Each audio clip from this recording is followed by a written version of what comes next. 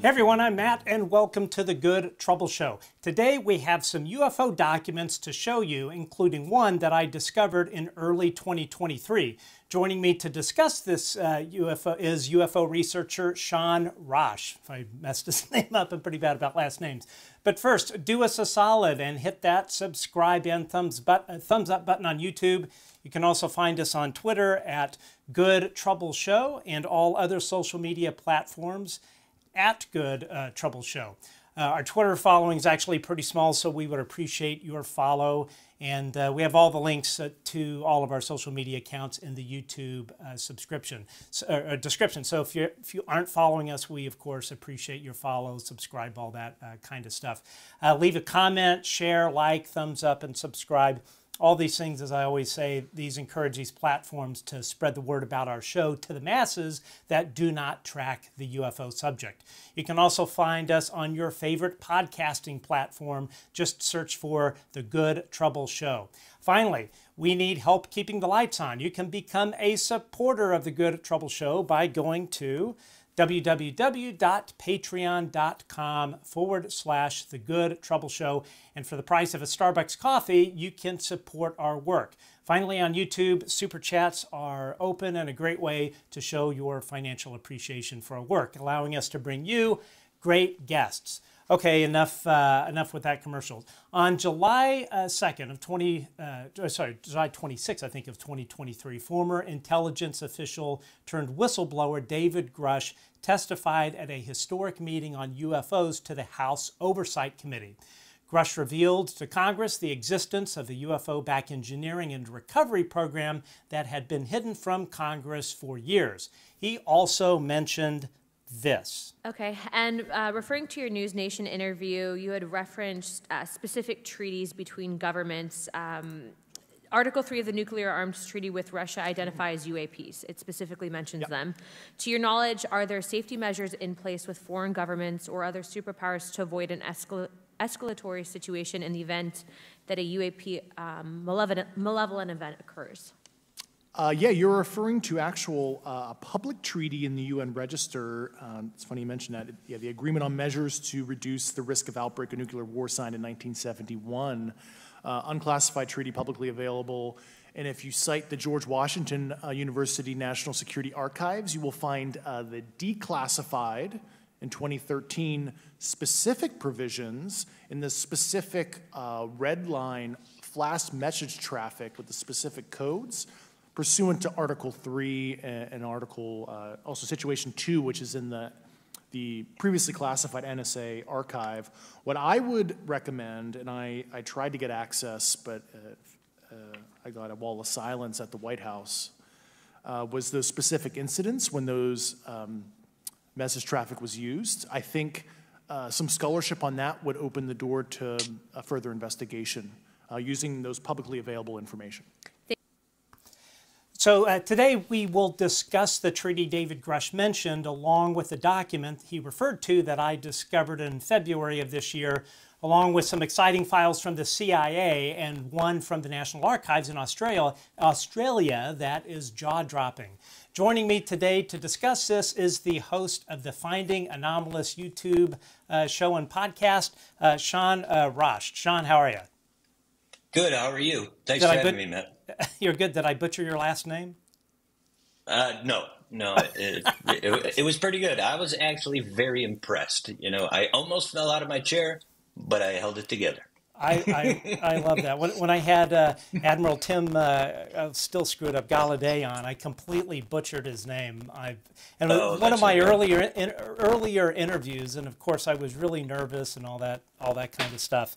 But um, anyway, thanks uh, thanks for joining us. So, how are you feeling yeah. after this whole uh, UAP Disclosure Act debacle in the House, uh, uh, prompted by Congressman Mike Turner, who's on my uh, S list, as I like to call it? Yeah. Um, well, it's. I think it's it's good that we're making headway, but it's also disappointing that some key things got gutted out of uh, the UAPDA.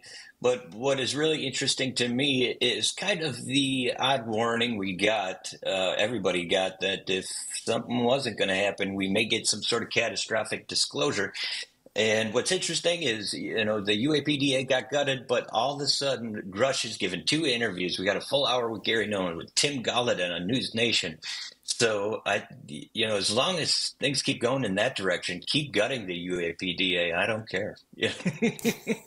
well, hopefully, I'm, I'm hoping that this will end up being just kind of a template. Oh, your audio's oh, your audio's popping a little bit. Okay. Yeah, it's uh, just real grumbly for some reason. Sorry about that. Huh. Uh, well, that's no good. Is that any better? Mm-mm. Hmm. it's like right, weird, well, that's, like that's, popping or something.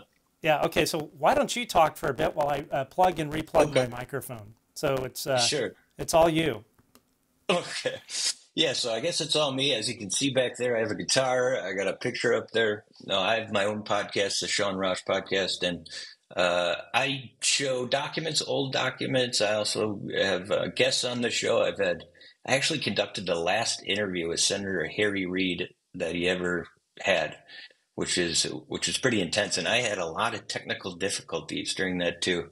The first hour, we were struggling to even get him live on the camera. Um, and they almost quit. His assistant called and they said, "Well, let's just reschedule." And um, I decided to try to push through, and we got him on the phone and finished it up and got maybe a good solid 15 minutes. Is, uh, um, he was a really nice guy too. No, no, not any better. No. Okay. Okay. All right. Let's dig. Let's dig in. Let's uh, dig into this. Okay. So uh, sure. this is your first document here: memorandum for Director of Central Intelligence uh, through Deputy Director of Intelligence. Yeah. Subject: unidentified flying objects, 1952.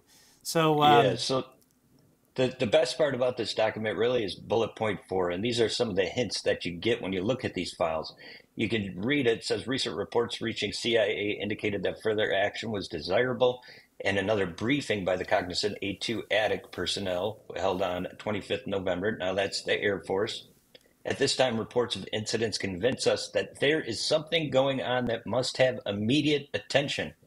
The details of some of these incidents have been discussed by ADSI with DDCI sightings of unexplained objects at great altitudes traveling at high speeds in the vicinity of major U.S. defense installations are of such nature that they are not attributable to natural phenomena or known types of aerial vehicles.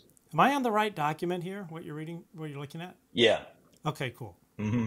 Just making yeah. sure. So I was just reading bullet point four. So right there, they're saying exactly what we hear now unexplained objects, great heights, great altitudes, great speeds, vicinity of major U.S. defense installations, and they're not attributable to natural phenomenon or known types of aerial vehicles.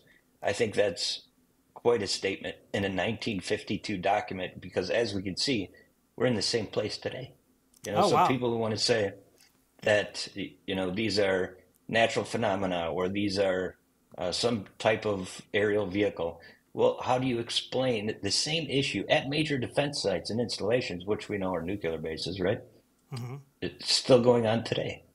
You know, you have to be able to explain all that and not just uh, pick what you want to talk about, pretty much, you know, like debunkers do. yes. Yeah, no, we, we know, uh, we know those guys. Uh, okay. So let's see here. So, um, I turned your mic up, so hopefully you can hear people can hear you a little bit better. Uh, let me turn sure. mine up as well. Check, check, check. Okay. All right. So we're done with that one. Uh, let's see. I'm going to minimize this. And let's see. Flying saucers, uh, executive summary, the National Security Council. That's that's yes. uh, that's pretty big. that's pretty much as big as it gets. Now, this was the impetus for a draft memo that they were going to send to the National Security Council. And I don't think they wound up doing it, but this little memo here is is pretty interesting. The bullet point two is pretty good because it says the third sentence down, it says a broader, coordinated effort should be initiated to develop a firm scientific understanding of several phenomena which are apparently involved in these reports and to assure ourselves that the incidents will not hamper our present efforts in the Cold War or confuse our early warning system in case of an attack. And remember that early warning system part for when we uh, are later on in the show.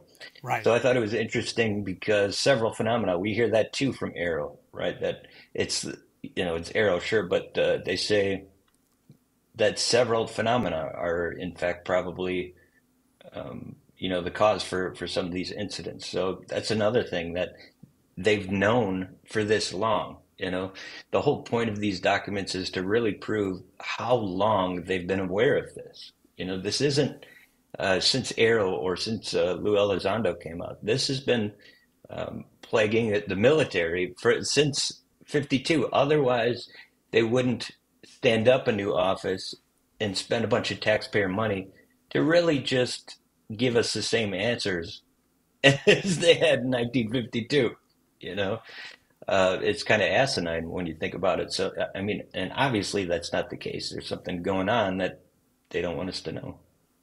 Yeah, that's if, if there's one thing we've uh, learned, they're uh, they are they're really good at lying to the public, lying to Congress, and uh, probably lying to presidents. It's uh, it's a feature, not a bug, with uh, the CIA and, yeah. and uh, others. Okay, let's take a look at this one. This is. Um, this again, 1952. So we're going back to the 1950s here. It was classified as top secret and was somehow declassified. Obviously, there's some redactions here uh, probably mm-hmm. uh, names. Um, but yeah, yeah what do we have This here? is a this is a deputies meeting. So this is December twelfth, nineteen fifty two. Um, let's scroll down to B. So it says A B. Uh, stated that the memo prepared by ADSI on flying saucers did not contain the information he desired.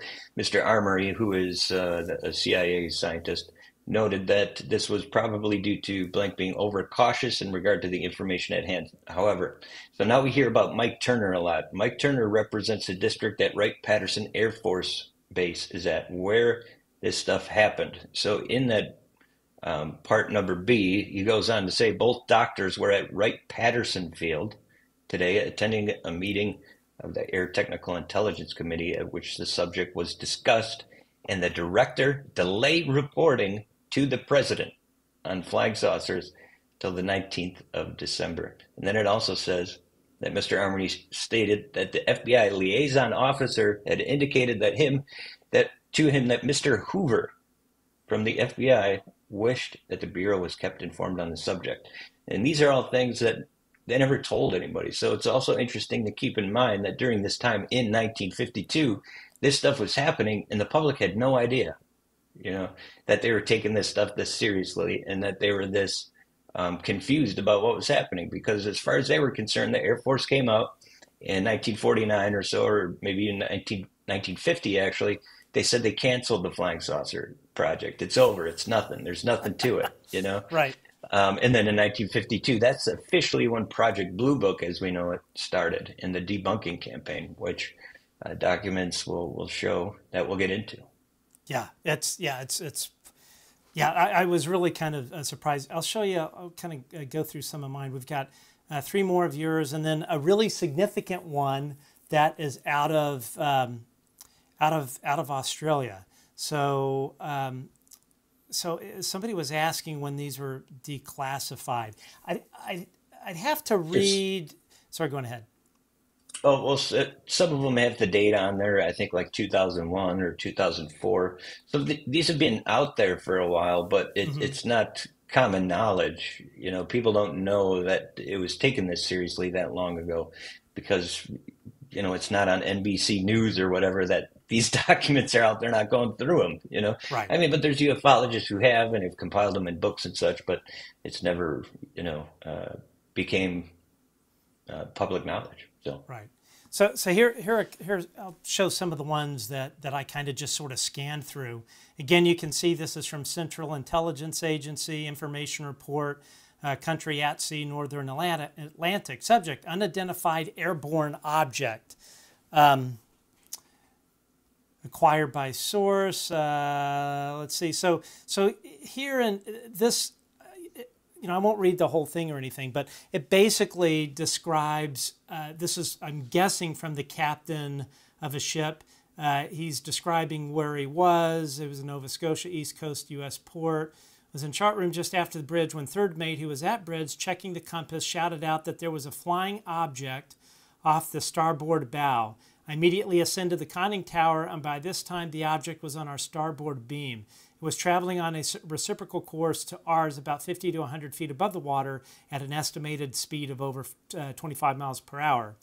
From the conning tower, I observed it with binoculars uh, for a period of approximately one minute and half uh, and a half when it disappeared into the horizon in a northeasterly direction. I would estimate that the closest it approached my ship was uh, was 1,000 feet, and it was an ovular cylindrical shaped object. Sounds like a tic tac, uh, mm. just like which I've never seen before. The object was quite small and I would judge that it was the diameter of about approximately 10 feet. It had depth, but to what extent I was unable to observe. So this was the something master. This is chief master here. Uh, and it looks like, uh, yeah, yeah same thing. Alerted uh, to its presence till it disappeared at night. 15 seconds elapsed. I believe it was traveling at a tremendous rate of speed, possibly faster than 500 miles uh, per hour. We can see here 70 the, feet off the water. Yeah, and, and then uh, wow. let's, let's see, trying to zoom this in. there was a third page. Third mate uh, basically says the same thing. Uh, came towards us and I clearly saw its shadow on the water. My impression of the object was that it was elliptical, not unlike a Japanese diamond box in, in, in shape. Right at the uh, bottom there, look look at this line. All three men were quite evidently very much upset by the sighting. You know, now wow. that's that's a clue there when when they include their emotional uh, reaction to seeing something like that. You know, so they wouldn't react that way to uh, you know a Russian jet or a Soviet plane or something. You know, like but right. th- this is actually a kind of a typical sighting in these in these days. There are so many just like that, um, and you know, obviously they were interested. yeah, this this one that I'm going to show you, this one's interesting. So one thing I've noticed in the CIA uh, documents, uh, they sometimes refer to these UFOs as unconventional aircraft. So people sure. people uh, that are uh, for the John Greenewalds of the world, uh, you, that might be a search term that you would want to use. But uh, here it oh, is, yeah. you know, information report, Central Intelligence Agency, sighting of an unconventional craft. Uh, and this is from a guy that was, I'm guessing, some kind of intelligence source. This was October 4th of 55. So I can give you a little context for these couple of reports that, that Go you've shown it. so far. So typically, when CIA got their reports, they got their reports overseas, right? Um, and sometimes they got them from different, uh, like foreign source news organizations, or even sometimes the Air Force would send them to the CIA directly. So that's where these came from, just so you know. So it's they they had different information sources, but yeah. Got it. Okay, let's see which one's here. Let's see. This is triangular another... object I saw in that one. Yeah. Crazy. Uh, let's see. Here's uh, another one. Uh, this is uh, from 1952. A proposed study of on the flying saucer mm. phenomenon. Intelligence Advisory Committee uh, let's see here. Uh, let's see. And none of the agenda items are of direct interest to the Bureau. However, something blanked out directed the members' attention to some aspects of the flying saucer phenomenon. He said at a recent uh, pre something uh, theory on saucers, saucers was made to a German scientist. Yeah, this is a uh, good document. Uh, also was stated that recent saucer observations in Africa presents evidence that the saucers are not a meteorological phenomenon, which theory has been held to date by the Air Force, of course, the Air Force. Uh, instead, this letter incident, this uh, later incident, uh, indicated the possibility of saucers being a scientific development. Uh, details of this observation were not presented, however. Um, as a result, uh, military members suggested a logical approach blah, blah, blah. Um, uh, it was further suggested that IAC, not sure what that is, should only concern itself with this matter on the basis that a competent scientific uh, group might determine the saucer's development and control or something like that. Um, anyway, that yeah. was uh, see what I else. tried to actually look up that German scientist and that paper that they were referencing, but I, I could not find it for the life of me. But yeah, I remember coming uh, upon this document and becoming very interested because, again, it's just further proof that they had tabs on this. They didn't want to fall behind any other countries, um, and they, you know, were interested. So the earliest CIA document I've ever found was actually 1949, mm-hmm. uh, which is a pretty good one, and they say the same same kind of stuff, and it's the same department, OSI. So we see these 1952 documents, and it they make you think that OSI for CIA just got interested then. But when I found that 49 document, and it was OSI people talking to each other, you know that's a lie because they were confused in 1949 and you can see, you know, they're still interested in 52, and that's when they put the, together the Robertson panel, which was pretty much just a way to to debunk uh, flying saucers to the American public. They did not want people to be interested in them, mainly because they feared for like psych- psychological purposes and Russia using them to create some sort of mass panic. Well, that's what they put on the documents, at least. But let's see here. Uh, so here's here's an interesting one. Office memorandum, uh, United States government to the acting assistant director for scientific intelligence. Responsibility for unidentified flying objects, UFOBs. What, you, what is the B for? Uh, UFOB is just what they called the the reports, the UFO reports, the Air Force reports. They were called UFOBs. So they're, it's not referencing the UFO is separate. The UFOB is the report anyway, so here it's. Uh, I mean, look at all these references to other reports. Uh, memo uh, from 53, unidentified sure. flying object, unidentified flying object, intelligence, and responsibilities. Those are in oh, there. Uh, and this those is another the, the, reading room. Yeah. Oh, are there? Okay, good. One mm-hmm. of the mm-hmm. things that I've noticed, another thing the CIA refers uh, uh, refers to these UFOs as are non-conventional mm-hmm. types of, of air vehicles. Um, yeah. Uh, so, by reference A, this division was assigned responsibility for maintaining current knowledge of sightings of unidentified flying objects. Uh, by reference B, which was received concurrence of the office, the division proposed uh, to handle its uh, responsibilities as follows A, the project will be considered inactive. Uh, B, incoming material will be reviewed periodically, periodically to segregate references. All material on unidentified objects will be deposited in files for future reference unless it raises an, an immediately recognizable problem of concern for national security.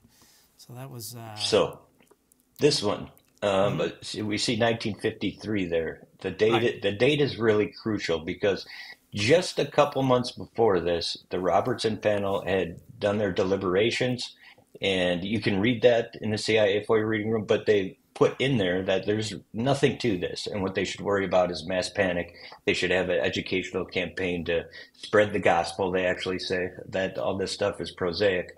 So, but you, you can see here that that's not what they really thought, and they actually continued to keep tabs on it because this document, 1953, where it goes to the the chief electronics and physics department. I brought another one. I don't know if you have it or not from 1956 saying the same stuff, saying that these people are still cognizant of this problem and also that they were going to destroy files. Wow. Well, speaking of problem, here's another one from the CIA. This one titled Subject Flying Saucers Problem.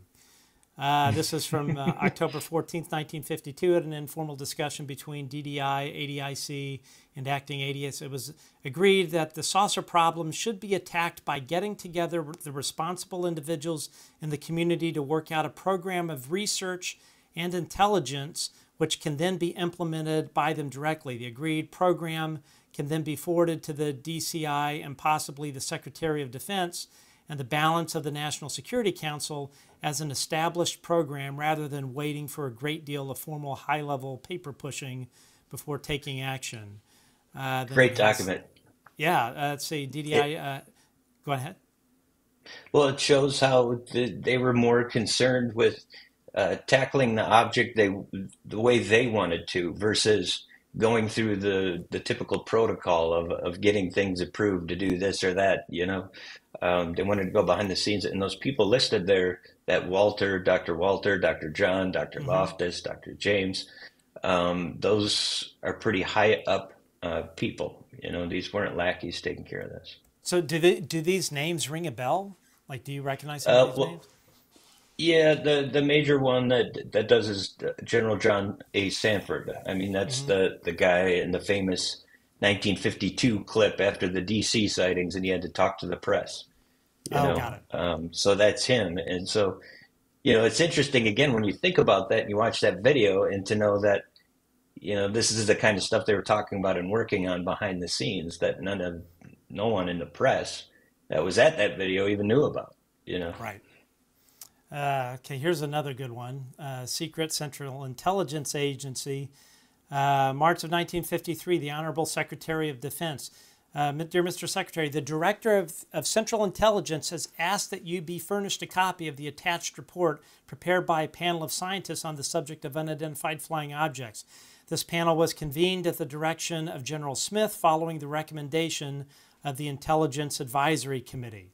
The conclusions and recommendations may be of interest to you in the fact that they point out certain potential dangers to national security which are related to the subject and suggest ways of their elimination.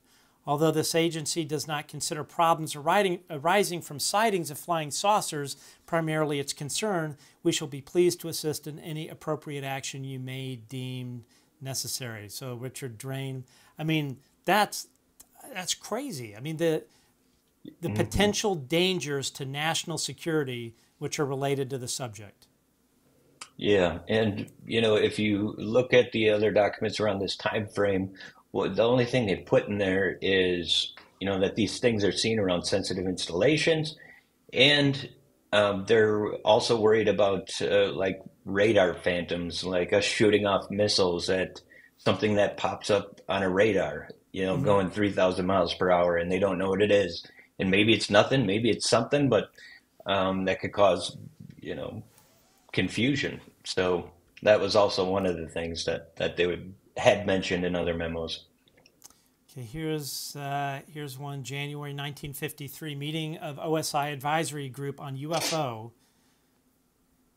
At 0945, an Yeah. ad hoc an ad hoc panel of scientific consultants was convened to review the unidentified flying objects problem.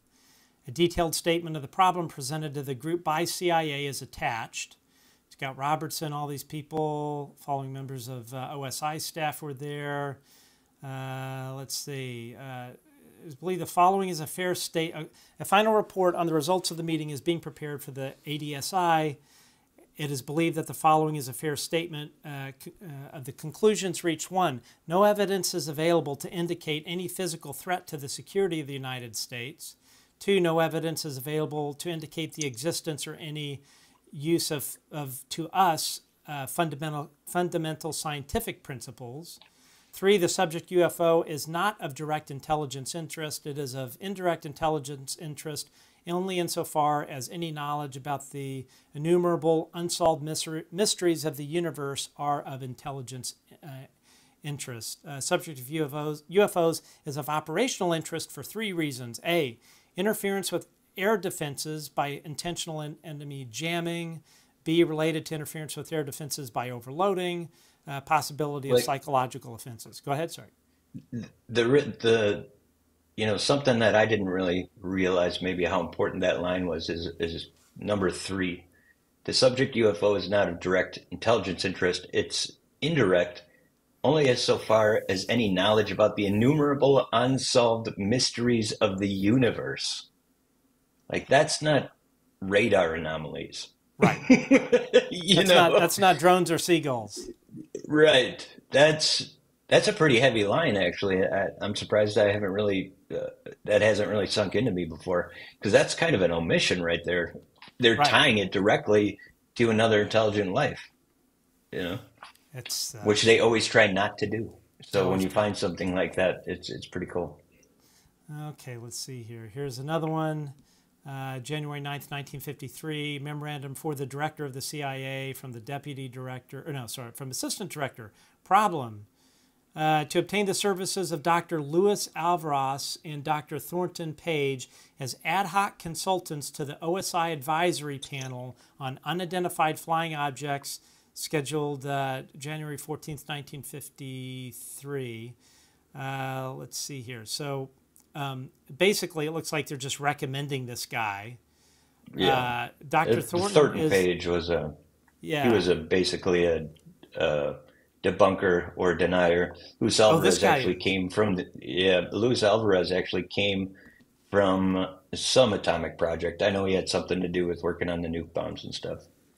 Got it. Got it. Okay. Now this is an interesting one here. This is actually fairly new. Um, I say fairly new. What is the date on this? Uh, da, da, da, I had it written down. Oh, uh, this is 1993. ni- 93.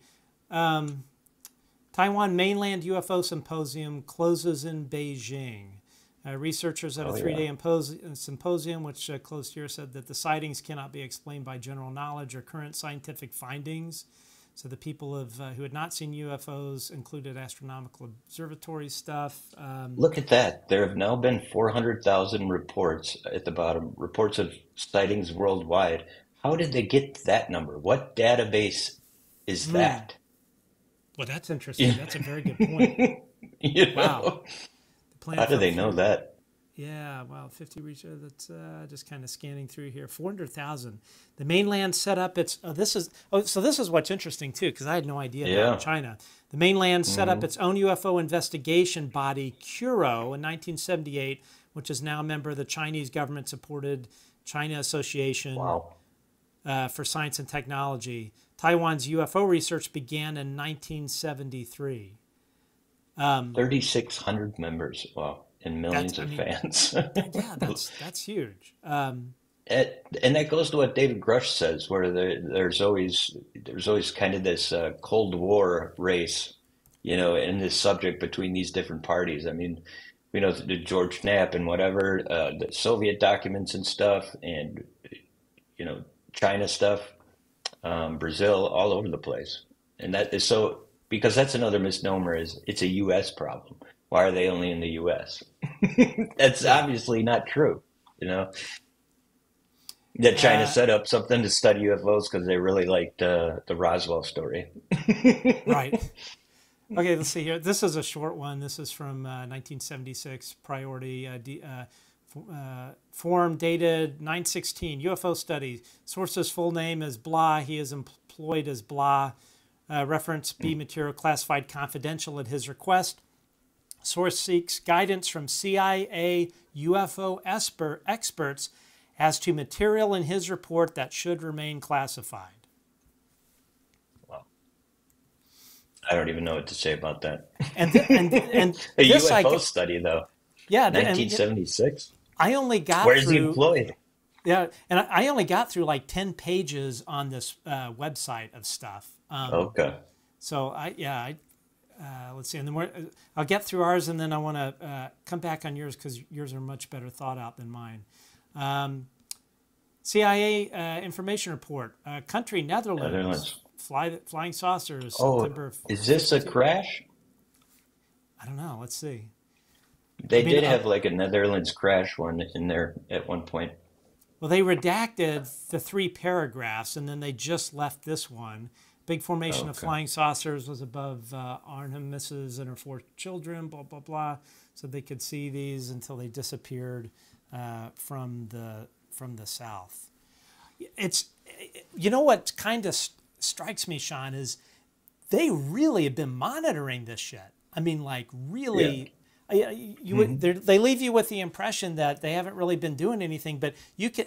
I mean, you're getting reports from the Netherlands, and a CIA document is being generated. Uh, I mean, Yeah, a, a, a lot of them, and and you can tell there's, you know, there's even there's other documents that go into when a like a senator, I think Richard Russell was his name, who started, who's really the godfather of Area 51, was out in uh, Russia, um, and he saw flying saucers outside the window of his train and Wow. reported this to the Air Force. The Air Force sent a top secret classified thing to the CIA, and they sent, guess where they sent it? They sent it to the group we just looked at, the Chief of Physics and Electronics, and that was in 1955 or 56. You know, and that was also around the time of the Avro car, which people have heard about, which was a dud of a flying saucer. We've seen the videos where it barely hovers off the ground.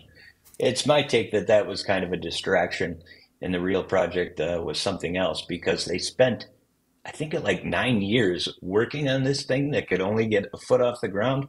I don't think so. Sometimes I feel that. sometimes I feel that way about uh, the broadcasting equipment for my show. It barely gets me one one foot off the ground, or at least the audio doesn't. We've we've, we've seen that. Okay, this this one. Uh, okay, this one I found interesting. Uh, I'm surprised it's unclassified. Uh, header from joint uh, former joint uh, staff Washington. Uh, it's got all these other destinations. Let's see, controls on class serial body USSR China. Sub, subject USSR public uh, public uh, People's Republic of China scientists in joint study of UFOs.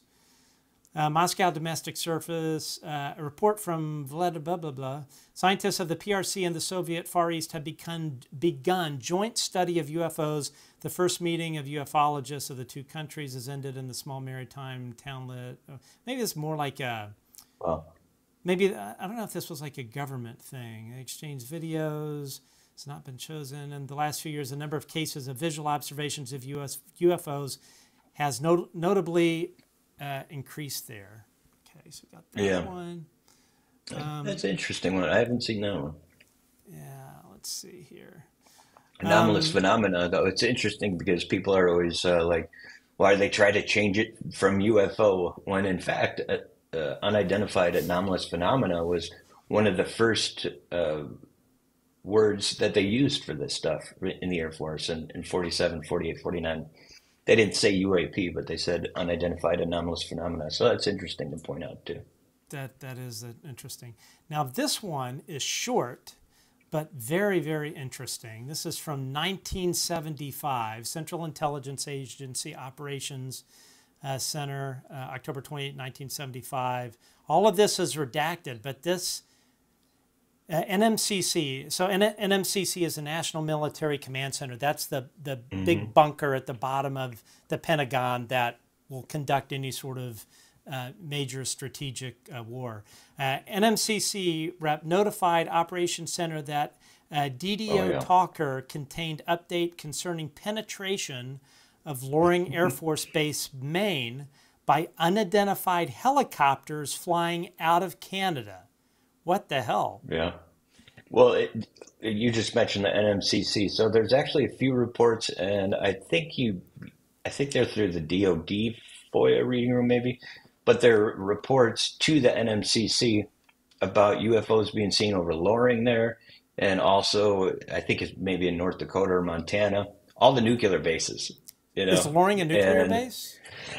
yeah, I'm not sure. I think they maybe just housed the weapons or something like that. So it's not. I don't know. If, I don't think it's like Malmstrom or anything. Got but uh, yeah, and at the time they also called UFOs a lot of times helicopters there's actually sightings that happened in Vietnam that were actually a pretty big deal, and they just called them enemy helicopters or unidentified helicopters. They're, but they weren't described as such. They're really just unidentified objects. Got it. Okay. Um, going back to the time machine, 1953 report of the scientific uh, panel on unidentified flying objects, January 17th, 1953. The undersigned panel of scientific consultants has set at the request of the government to evaluate any possible threat to national security posed by unidentified flying objects, parentheses flying saucers, and to make recommendations. The panel has received the evidence as presented by uh, something government agencies, primarily the United States Air Force, God bless them, and, uh, yeah, and something uh, just... uh, reviewed.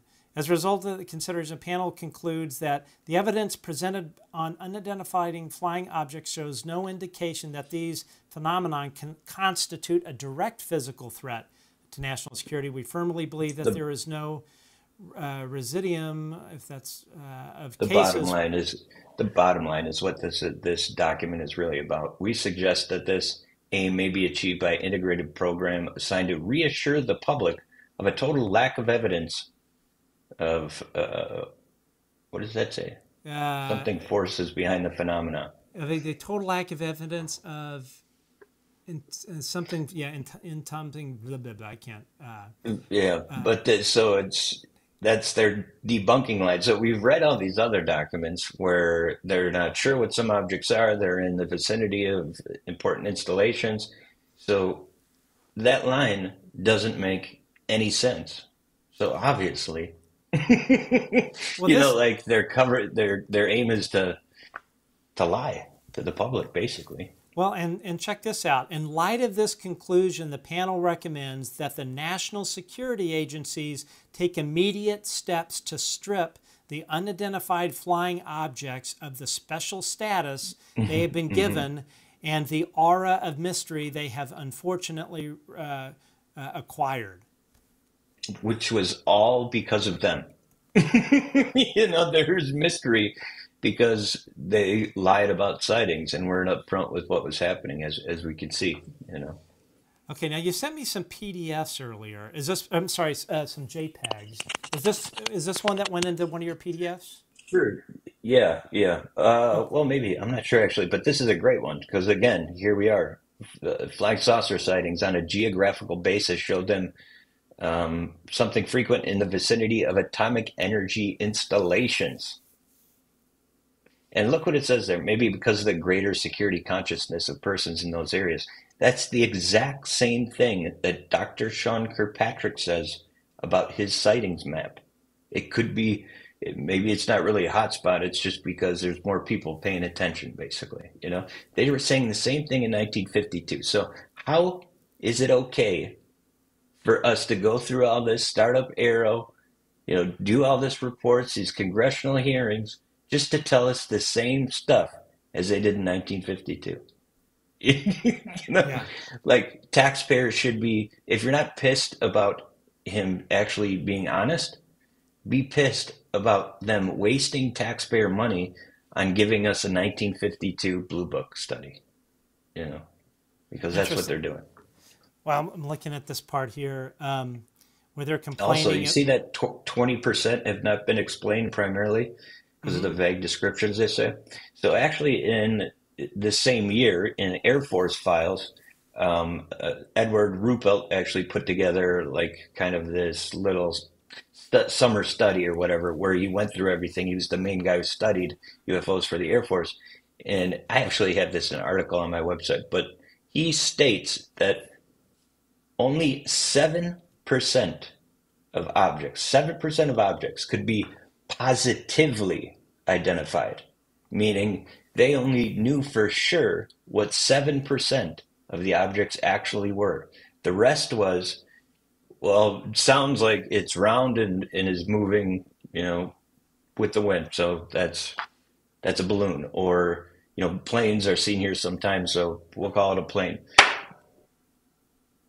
how can you really go out and tell the public and give them these numbers with a straight face when you could only say for sure what 7% of the objects were? Well, this is this isn't yeah exactly, and this is interesting too. Uh, key members of some of these uh, UFO societies, which have been instrumental in keeping the flying saucer craze before the public, have been exposed as being of doubtful loyalty. That sounds like uh, they think they're a bunch of commies that were doing this. Uh, They uh, some some did some did think that for sure. Furthermore, these societies in some cases are financed from an unknown source. The Air Force realizes that a public made jumpy by the flying saucer scare would be a serious liability in the event of air attacks by an enemy. Wow. It, it's true, but not the the one truth to it is they like Russia. If Russia somehow found a way to, actually, Japan did this with um, something called Fugo balloons, where they threw them over the, let them go over the ocean, and they came over our country, right? And they kind of confused us, and maybe they'd ping a radar or something like that. And so, like, if there's a wartime atmosphere and they're sending all these fake targets out there, yeah, that would that would be a problem, you know. But it's also not realistic with what the, the real issue was Got at the time. All right, so here's one. This is another one that you uh, that you sent. Uh, if you want to talk about that. Yeah, I thought this was interesting because this comes from an OSI CIA uh, study that was done before the Robertson panel in late summer of 1952, just about a couple weeks after the DC sightings. And, you know, it's interesting because it says many are on scientific frontiers which have as yet been little explored or charted.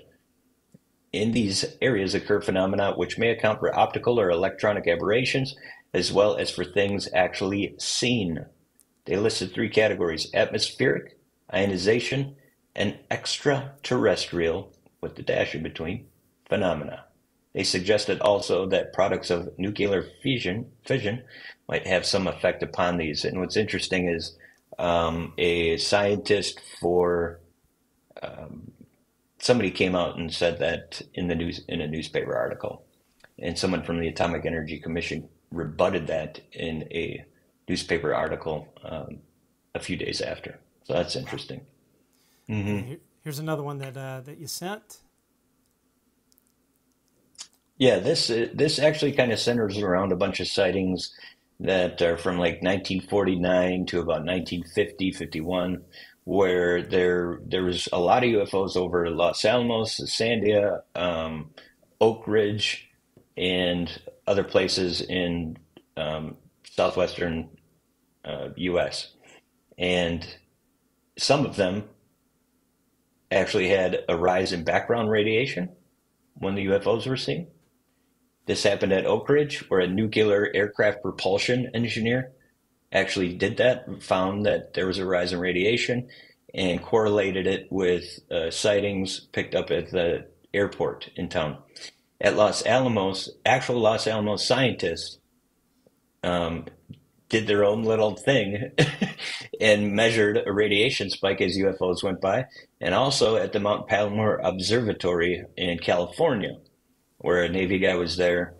Multiple Geiger counters went off. They even actually did a test flight to see if the plane would make the Geiger counters go off, and it did not. Wow. Um, and then, yeah, so af- after that, it kind of gets dark. But it's interesting because again, it's in all in like 1952. A lot of this took place 1949, 1950. You know, and they have this press conference with Samford in 1952 where it's all about those sightings. And meanwhile, they have no idea that these scientists are picking up, you know, rise in uh, radiation and sightings, and they're interested in it. It's, it's pretty wild.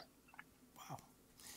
Yeah, boy, yeah, and what's interesting is most of this, the bulk of this seems to be out of 52, 53.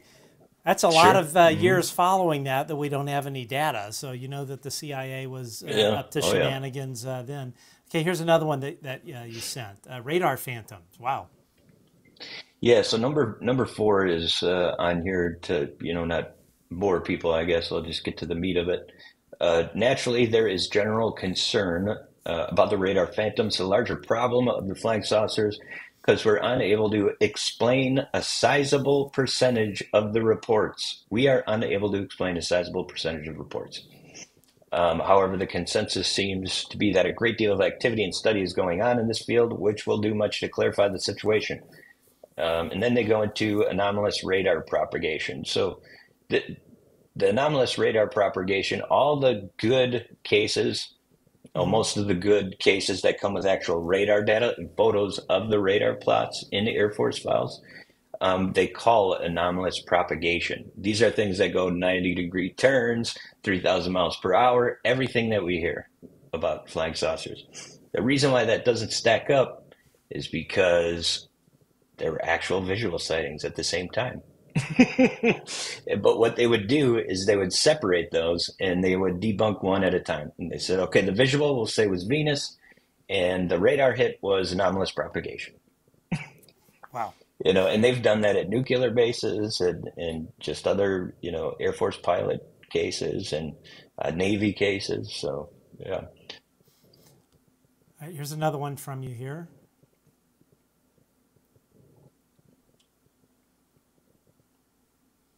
Think. Oh yeah, here we go. Uh, so number four again. So it's towards the bottom. Sightings of unexplained objects at great altitudes, traveling at high speeds in the vicinity of major U.S. defense installations. Oh, we already did this one. Oh, wait, this is one we did. Okay, yeah. Let's see here. Yeah. it's worthy of a repeat, I guess. Yeah, that's okay. uh, let's see. Did we do this one? Flying saucer. Yeah, I thought this was interesting because they were talking about uh, this, the Soviets in here, you know, and we hear about the Cold War and all that kind of stuff. So, determination of scientific capabilities of the Soviets to create and control flying saucers as a weapon against the United States is a primary uh, concern of the CIA. Then they say its review of existing information does not lead to the conclusion that the saucers are USSR created or controlled. A lot of people you'll see out there will talk about, oh, those those saucers were German secret projects, and, and then the Soviets took over them, and they had the flying saucers. Well, here you can see that, that they're saying uh, we have nothing to back that up. And then, you know, they're obviously curious down in those bullet points um, what the Soviets know about it. Right. What are the possible Soviet capabilities to utilize these phenomena Mm-hmm. to the de- detriment of U.S. security interests? Interesting, Uh, huh? Yeah, and then also, what effect do flying saucers have on our warning uh, system? Uh, yeah, you know, and it says here for the major scientific intelligence problems in respect to saucers are, I mean, that just completely spells it out. Sure. Yeah, They're also like talking about these unidentified like tracks too. Like if the Soviets had the capability to put a somehow put some weird track in a fighter jet's radar or something, you know, that could be confusing. So I think they may be hinting at that too, and I, I really do think there that's a little bit of part of it because the CIA actually wound up doing something called uh, Project Palladium, where they were in Cuba, sent identified unidentified tracks into a Soviet's jet, and put a balloon in the air. and tried screwing with them. Yeah, so Wow. Okay, here we go. Uh, next one. This one is interesting. So this is uh, proof uh, CIA was classified top secret, 1952. oh, we looked at this one already. we yeah, did. Okay, sorry. It's all Yeah. kind of. Uh, that's okay. Let's see. Uh, let's This see one too, I think. Yeah. Uh, da, da, let's see. Okay, Yeah, let's this- get let's get back to. Um, so we did the Hoover one, and then let's uh, go to this guy here. So another That one, that yeah, we looked at that one. We did do that one. Okay. Mm-hmm. Let's see. Uh, let's see. Da. We do this one. Can't keep them all straight. Uh, Let's see here. Uh, Yeah, Okay. we did. Oh, you know what? I probably just went the wrong way. CIA still studies saucers. Oh, there we go. See, so that's kind of playing off the one that you had for 1953 that we saw. Oh, so here's ADSI. 56. Mm-hmm. So then look, look at uh, yeah these bullet points. Uh, a files will be maintained ASD on incoming raw reports, where in our judgment the subject matter may provide information bearing on foreign weapon systems research or development. Like maybe the Soviets Mm-hmm. reverse engineering their own sauce. right. And uh, yeah, reports do not fit any of the it's, uh, file. Yeah, that's a pretty file good. of a file of finished intelligence reports published by members of the United States intelligence community will be maintained in ASD. What do you know what ASD is? Um, I can't think of what it is right now. I don't. I think it just is the same kind of physics and electronics branch. But again, yeah, they put non-conventional types of air vehicles. And that was kind of one thing I wish would have been in the uh, the UAPDA because they put different words in there. You know, flying saucer, on a UFO, or this or that. But they didn't put that. And having seen these files before, I I thought it was really important to put unconventional object or non-conventional air vehicle because that's what the CIA was using, as we see here. You know, Right. So if you're not using those terms and they don't want you to have the records, do you think they're going to say, "Oh, you didn't use this term, but we'll give you these anyways"? no.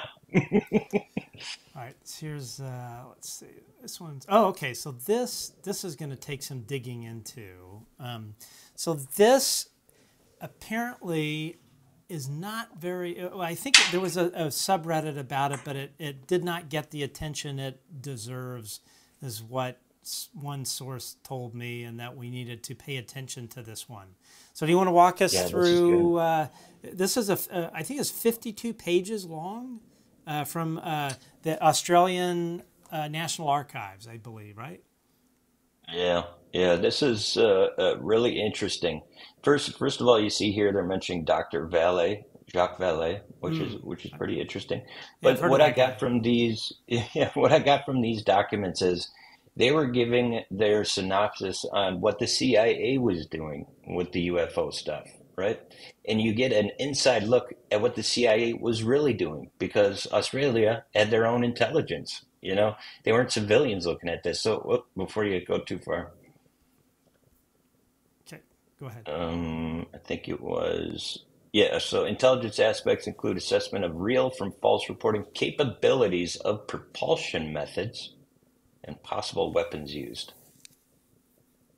I think that's pretty interesting. That is. And it gets more interesting as we as we go on. Okay, let me make sure I had that. First. Okay, so that's the first one. We'll go on to the second page here. Yeah, so that's pretty good for research.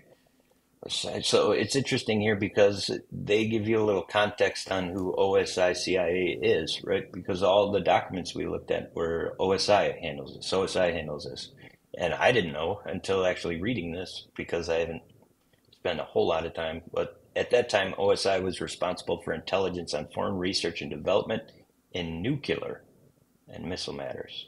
And that's important because of the nuclear connection to the UFOs. And then they talk about debunking UFOs, you know, CIA erecting a facade of ridicule. Oh, let's uh, step through this. Uh, so, yeah, as a means of uh, CIA became alarmed at the overloading, uh, acting through Robertson panel meeting, uh, persuaded the U.S. Air Force to use Project Blue Book as a means to publicly debunk UFOs, and at a later stage to allocate funds for the Avro advanced saucer aircraft. To initiate such programs decades ahead of normal scientific development would indicate the U.S. government acknowledged the existence of advanced Wait. aircraft. I think you you skipped a good one. To initiate such programs, decade wait no no. Uh, Is it up? Avro advanced saucer aircraft and the launching of crash programs into anti gravity power. Oh wow, I did miss that. In, well, yeah, so it's so they're talking about saucer air. Yeah, they're talking about crash retrievals, right? I'm not sure if it's crash retrievals. They say crash program into anti gravity power. They were tra- they were working on anti gravity propulsion. You know. And this is what uh, what do we say? This was 1971.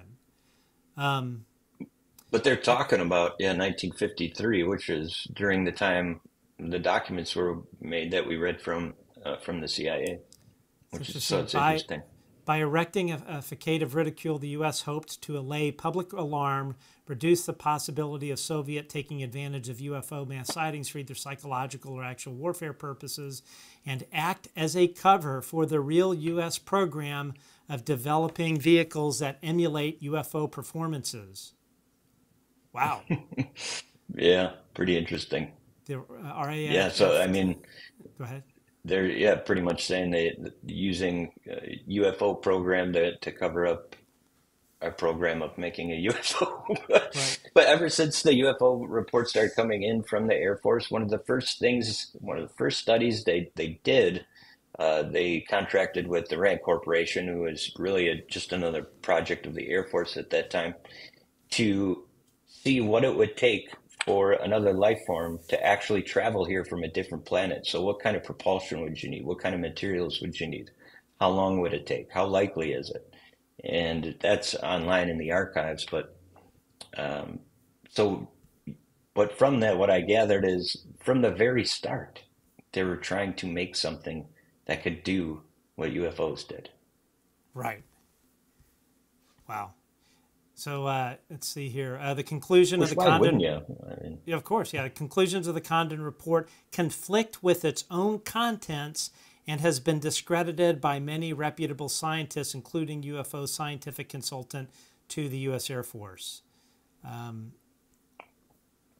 yeah, so I just highlighted the things that were pretty interesting to me. So if you want to talk about two here. Uh, yeah, so February 1949, ATIC personnel and project signed. So this is the time I was just talking about with Rand. Replaced new personnel to form Project Grudge. A definite attempt was made in 49 to use Grudge to destroy any acceptance of UFOs. The motives are not clear. Possibly Air Force embarrassment at being incapable. Remember the 7% positively mm-hmm. identified? Of being incapable of controlling the situation and or a fear of national panic. I mean, could you imagine if you know all these reports were going off and and they were honest with you and said, actually, I can only say for sure what seven percent of these are. right. you know? No idea what the rest of it is. I don't think that would go well. Yeah. pro- it, it, probably probably wouldn't. Um, anyway, yeah. Yeah, so continuing there. And they just say the government agency was not the FBI, uh, and the rocket nuclear intelligence experts. Their purpose was to study UFO reports in an effort to gather design data on interplanetary spaceships. Wow. In the light of yeah, this document wow. I'm telling you is is a is a home run. and I just read it today from you. Wow. I mean, I looked at the Australian files before, um, but I don't remember seeing this one. Yeah. Um, so yeah, a, uh, a, a contact. But it spells out everything.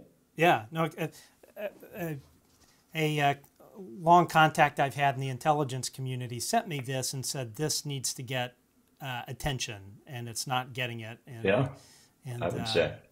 Uh, okay, so yeah, so we've got that. Um, three it projects. Tells you, it tells you the truth behind everything we were just looking at that's what the see like a lot of times what I call FOIA documents are uh, I call them press releases. That's what right. they want you to see. You know, even though there's a lot of documents, you know, it, it, there's a lot of very um, you know um, blurry documents where they don't really tell you anything. It's all very middle road. Nothing to see here. You know, right. But you get these little hints that we see you know, right. where they can't attribute it to anything. But then you see the Australian take that we're looking at, and it's like, okay. so, right. so that is what they were really doing because they weren't really guessing. They were saying this is what the CIA is doing. And, you know, Project Blue Book in the Air Force was just a front to make it look stupid while the CIA tried to find out how the UFOs moved how they did and design it themselves. Okay, here's uh, next yeah. Uh, interesting page. This is uh, huge. Yeah, if you want to talk about seven there. Well, here it talks about the tightened by the issuing of JANAP 146. So JANAP 146 was actually, um, I forget when NORAD started. I don't think it was in 53, but um, NORAD wound up using JANAP 146 for UFO reports. So um, you know, Canada and, and, the USA report things through NORAD, and they would fill out a JANAP 146. So what they're saying here is in 1953, which prohibited service personnel from discussing UFOs by threatening defaulters with up to 10 years in jail or $10,000 fine. You want wow. to keep people quiet. And when you look at the files during that time, there are like uh, Graham Rendell writes amazing books on these documents and the actual sightings that were happening then, Air mm-hmm. Force pilot sightings. And, you know, those were never in the papers.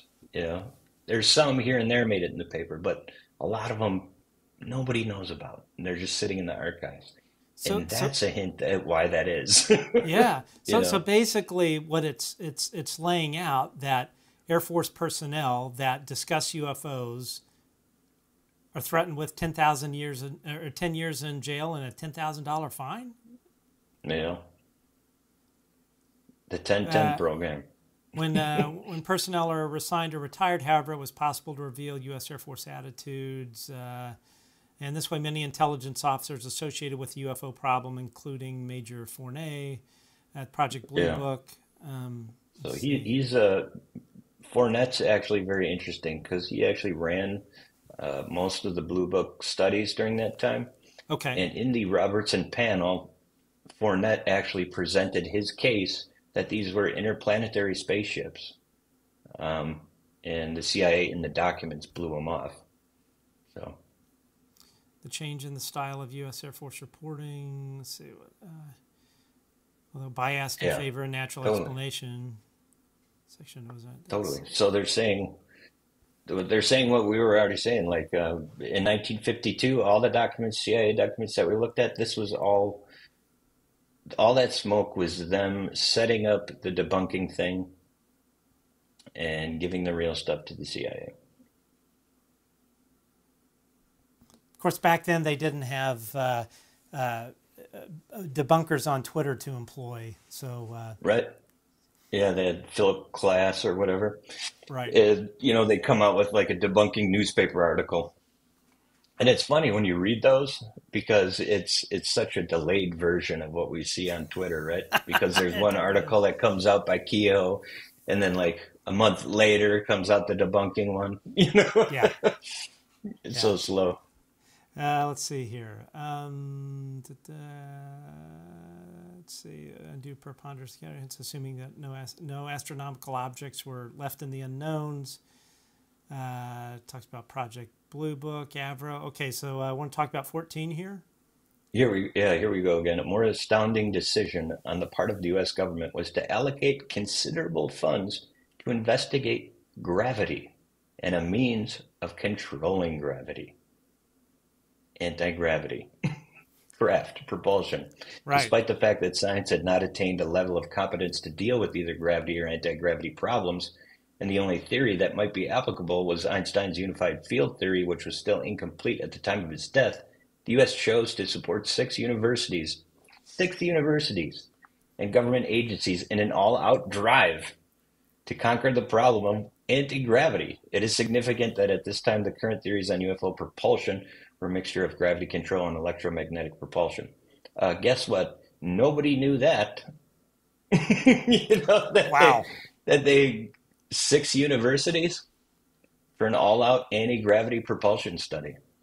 That is Pretty crazy. that, that is uh, that is crazy. Now, uh, let's see here. Uh, let's I've see. looked at old documents for a long time now, and I've never seen, I've never seen those. The one thing I found was called something Project Winter Haven in 1953, where the Carnegie Institute actually sponsored it, Uh-huh. and they were all um, doing like um, advanced propulsion. Anti gravity was a part of that. Mhm. Townsend Brown was a part of it. I'm not sure if you're familiar with him, but also No. SRI, where Hal Puthoff came from, and Russell Targ. In 19, before they were there, obviously, it was in the 50s, but they took part in it too. So Wow. that that could have been what they're talking about, but I don't know. Okay.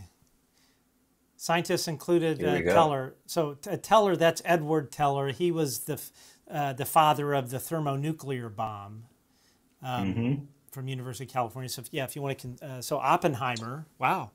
Well, yeah. So this is what David Grusch says, and uh, also Lockheed Martin. I mean, he says the the security of the Manhattan Project. People that were part of the Manhattan Project were a part of this, right? And there's no documentation from our government that says this. So it takes this Australian government look at what we're doing to reveal this. The scientists involved include Teller, Oppenheimer, Dyson, Dyson Spheres, um, J.A. Wheeler, um, and Richard Arnowitt of Princeton. Um, Stanley Deser. The objective was to control gravity. During 55, the following firms entered into gravity or electromagnetic programs. Glenn L. Martin. So that's before they merged with Lockheed. So it's Lockheed Martin. Um, and other Bell Aircraft, Convair. Yeah. This Pretty, is pretty interesting. crazy. Yeah, this is interesting here. 17. Such an intensive onslaught on the gravity enigma was entirely irrational from the standpoint of conventional science and can only be rationalized within the context of a firm belief that UFOs were real and that the intelligences behind them knew how to control gravity. The drive to harness this power before uh, uh, the drive to harness this power before the USSR could uh, do so would be a strong incentive for the U.S. government to fully support an anti gravity program. By 1966, Wow. 46 separate projects of this nature were being finance, uh, financially supported, 33 of which were under Wow. the supervision of the U.S. Air Force. no wonder the Air Force lies about this all the time. Jeez. That is incredible. It's an Yeah. amazing document, dude. By 1966, say. 46 separate projects, 33 were under the uh, supervision of the U.S. Air Force. Uh, although, I mean, no wonder Kathy Hicks uh, wants to classify all these special access programs as, as waived, so she, she can filter all What are they kinds doing of now? yeah billions of dollars to the Air Force uh, of our taxpayer Yes. money, by the way. I don't think any of the taxpayers knew that their money was going to fund No. 44 anti-gravity propulsion programs. That's, No, that's wild. that's that's okay. Anyway, Crazy. continue continuing Best here. document I've seen. Yeah. Uh, uh, although details of most of these projects have been kept classified, it would appear that generally they have not been successful. Work on gravitational waves by Jay Weber and his associates under U.S. Air Force Cambridge Research uh, Laboratory uh, jurisdiction uh, has been reported fairly extensively. Oh, that's interesting. Wow. Okay. So let's It's see. Um, Work on gravitational waves. We just heard something about that. I wish I had the, the link, but it let's see. slips my mind. and I, you know, I'm kind of going through this at the same time. Let's see here. Uh, let's see. Yeah, that I mean that document kind of affirms all the suspicions. Now, did I think one of the ones that um, supposed to look at here was pointed to? I just got to find it here real quick. Um, a certain page. Uh, let's see. Da-da. Sorry about that. Yeah, that document needs to go on News Nation ASAP. Yes. Um, Oh, you want the proof? Okay, hold on one second. So seven. All right, hold on one second, guys. Sorry, we're kind of struggling through this here. So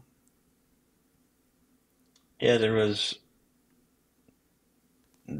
there was one where it talks about like the different kinds of witnesses, citing reliability.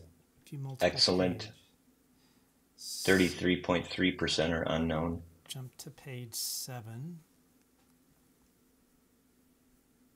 Pretty good, but that's not compared to what we just looked at. It's not a big deal.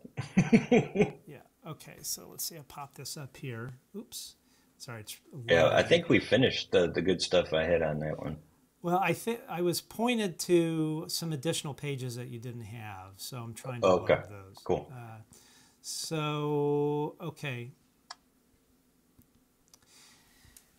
The early analysis of UFO reports by U.S. Air Force intelligence indicated that real phenomena were being reported which had flight characteristics so far in advance of U.S. aircraft that only an extraterrestrial origin could be envisaged. envisaged.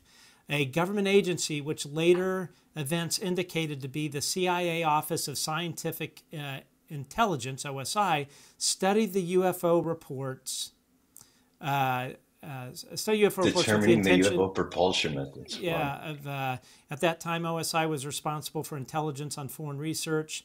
The CIA, be, number two, the CIA became alarmed at the overloading of military communications during the mass sightings of 1952 and considered the possibility that the USSR may take advantage of the situation. As a result, OSI, acting through the Robertson Panel meeting of January, persuaded the U.S. Air Force to use Project Blue Book as a means of publicly debunking UFOs. Um, I think the modern we day ver- I think the modern day yeah. version of, of that would be uh, Project Mick, AARO. Project Mick West. Um, Yeah. uh, and, and and at a later stage to allocate funds for Avro. Uh, for- yes, we talked about the saucer.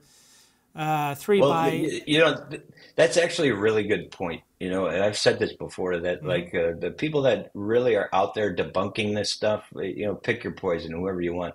Um, you'll notice a couple things. One, they don't push for transparency. You know, they don't want to be able to officially prove you wrong, or they would. You know, so they're just complaining, and um, and yeah, that's that's really the main thing is they only care about trying to make you feel stupid for believing in any of it, and you can feel that through their their banter, you know, and the fact that they don't push for more transparency themselves.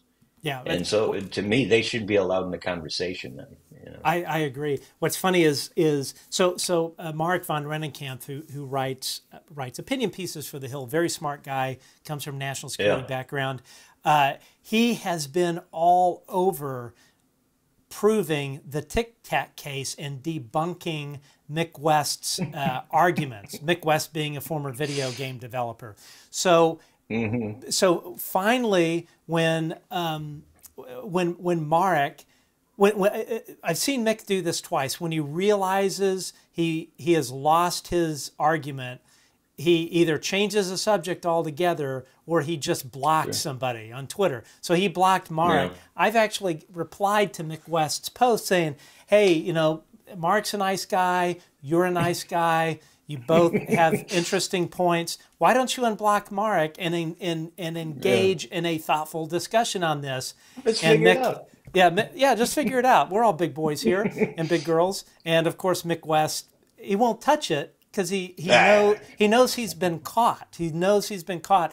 Uh, the same thing. If you go back, there was one interview that Mick West did with um, with uh, Lou Elizondo, and and Lou finally backed him into a corner to prove Mick was wrong, and Mick like turned on a dime to change the subject. I mean, the the, the jig is up. I mean, we we know what this guy's up to. You know, as I always say, it's like if you if like if Sean if you if you believed in the Loch Ness monster and you had a podcast about it or whatever and you're mm-hmm. like trying to convince me about the Loch Ness monster and I think it's all BS I'd be like Sean man you know I'm gonna go have a beer and and hang out with my kids or whatever. Go knock yourself out. Do your Twitter thing talk about Loch Ness monster all you want Yeah. the last thing I would do is spend the most valuable Your commodity that we all have, which is time, to spend hours on end. There's this other guy named Paranormal Chris. He's he's now rebranded himself as some UA. Uh, rebranded. yeah, he, he rebrand, aer, A rebranded expert. debunker. Yeah, rebranded the bunker, but he's another one of these guys that is clearly on, on the payroll. And then you have the other guy that, that works in uh, uh, in the basement of Rupert Murdoch's uh, uh, Fox outfit. Anyway, I digress. Let's keep going here. Yeah. Uh, number three, by erecting a facade of ridicule, the U.S. Uh, hoped to allay public affairs, reduce the possibility of the Soviet uh, taking advantage Oh, of we, UFO yeah, missiles. we read this already. We read that yeah. one. Okay, so then what is six? I'm going to do seven. We uh, what we read was like seven, eight, nine, and ten. I think. Did we read five? That's what I picked. No, Okay, yeah. So with so this is the other one. Uh, uh, or I mean, no. Um, yeah, We did read not, this? No, Okay. I don't would think it, so. would appear wrong for Australia to remain ignorant of the true situation. We lack an intelligence viewpoint that can assess the nature and possible consequences of the problem, a scientific viewpoint that could derive scientifically uh, valid uh, data from the reports and the public relations uh, view, uh, viewpoint that can honestly satisfy public interest. To overcome these deficiencies in the Australian investigation of UFOs, it would seem that a strong case exists for the acceptance of the RAAF suggestion that another government department assume responsibility for the investigation and analysis of UFO reports. Okay.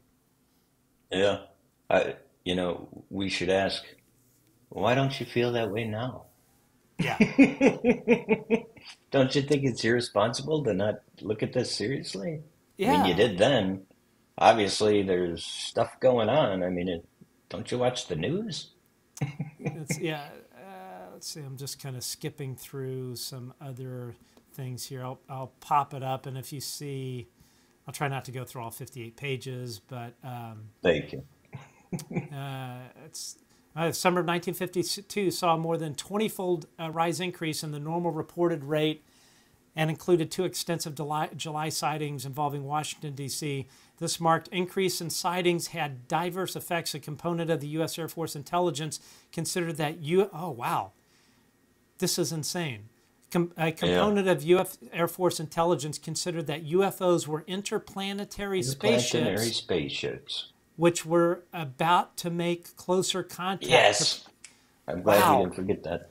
that mm-hmm. to prepare the public for the for this possibility, 41 previously classified reports were released for publication between 1951 1953. These reports contradicted the earlier U.S. Air Force policy of disseminating the reports as misidentifications. On the other hand, the CIA regarded the summer UFO activity as a threat to national security, mainly because of the resulting crowded communications and defense involvement. Wow. No Yeah. wonder. Uh, no wonder. And that's uh, probably that Fournet guy I was talking about. You know, that the the group inside the Air Force that legitimately thought these were interplanetary. Yeah, and that they're about to make close contact. That's that's pretty wild. So we're gonna, yeah, we're gonna we're gonna go through. Uh, I know we we're running long, and if you need to run to the restroom or something, go for it. But I, I want to go through this whole document now that Okay. I'm seeing that there's uh, a That lot of stuff. okay.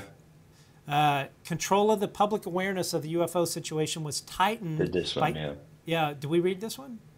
Yeah, the ten thousand dollar fine. Okay, we did. We I had all these same pages, but I only highlighted like a couple things. So Okay. And again, this is Yeah, from the National one- Arc. Go ahead. Sorry. no, I was just gonna say that was that was a great piece that you caught on uh, that page about the are some people in the Air Force thinking interplanetary spaceships. Yeah. well, And meanwhile, there- they're making uh, you know civilians or whatever feel stupid for thinking that and and just making fun of it, while people in their own you know military branch think that. Yeah. So now you have the, you know, now they have the debunkers that uh, that can do that, and I'm sure, I'm quite sure they're on the Yeah. payroll of somebody. Uh, let's see here.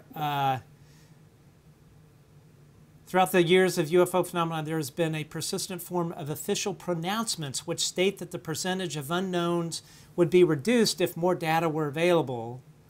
Uh, reports. Uh, let's see. Introduction. Now, how interesting is that? Because that's the same thing that NASA and Kirkpatrick blame the whole thing on. We don't have enough data.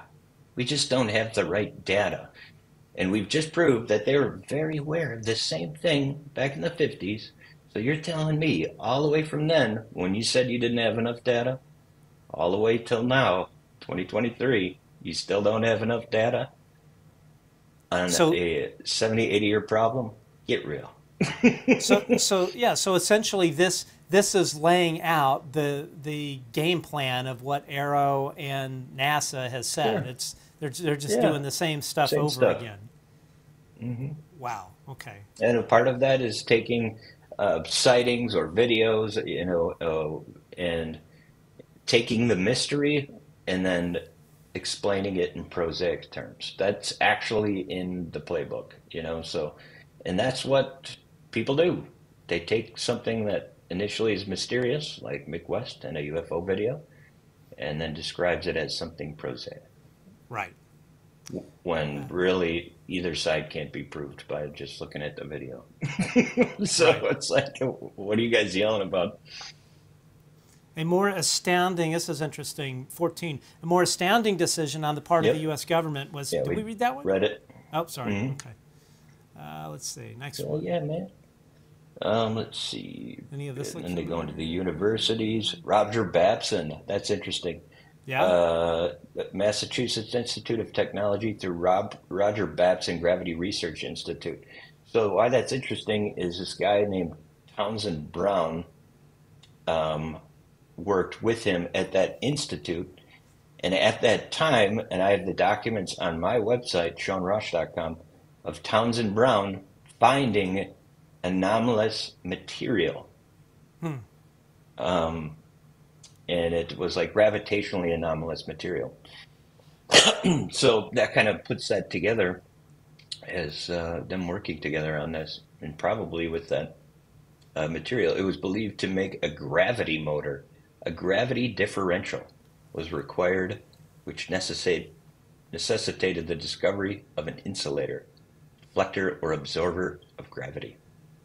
By 55, 485 essays had been written on this subject and awards totaling, well, that's not much, 10,800 bucks. Maybe that's a lot then.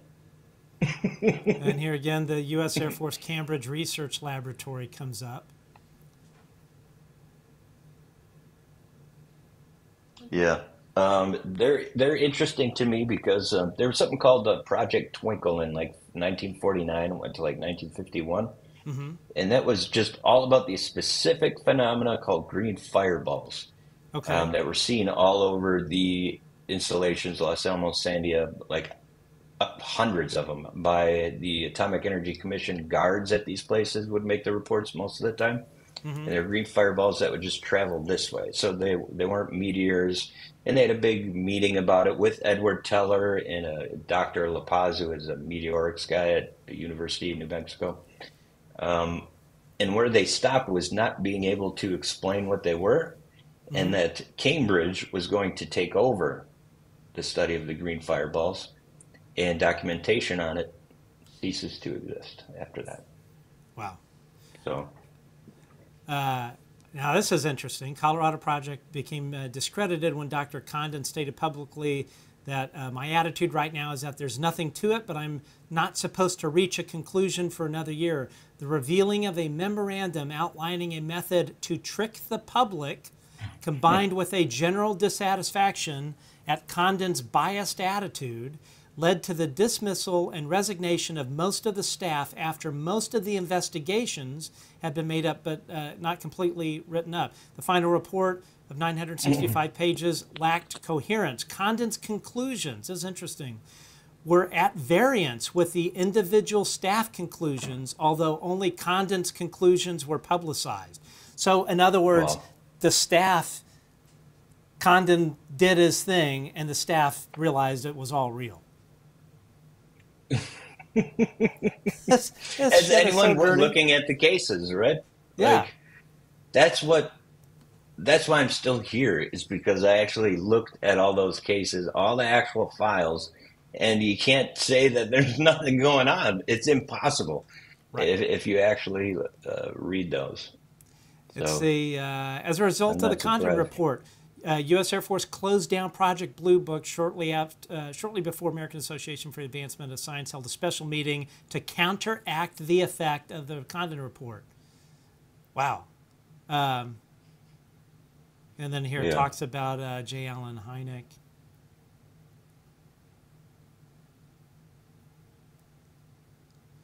More part-time officer admits, it, uh, admits that interest lies solely in air defense. Uh, some of the Commonwealth. Scrolling through here.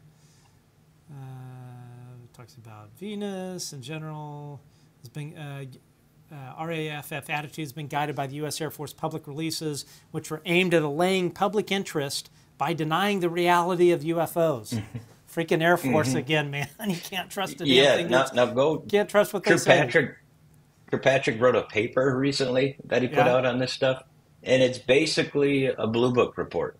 So if anybody's watching this and they're interested, go read that after what we're looking at right now, and you tell me if you have faith in AARO and if you're a whistleblower, if you'd go to them. I sure. I, No. We already told we we we already t- we sent people to a, a senator's office. We told them not to go to AARO. Uh, There you go. Okay, interesting. Uh, conse- uh, uh, releases uh, guided by U.S. Air Force public releases, which were aimed at allaying public interest by denying the reality of UFOs. Consequently, most of the Australian reports were given identifications without a great concern for rational correlations. Most investigators and collectors regarded the UFOs tasks as an intrusion into more legitimate tasks. Uh, okay.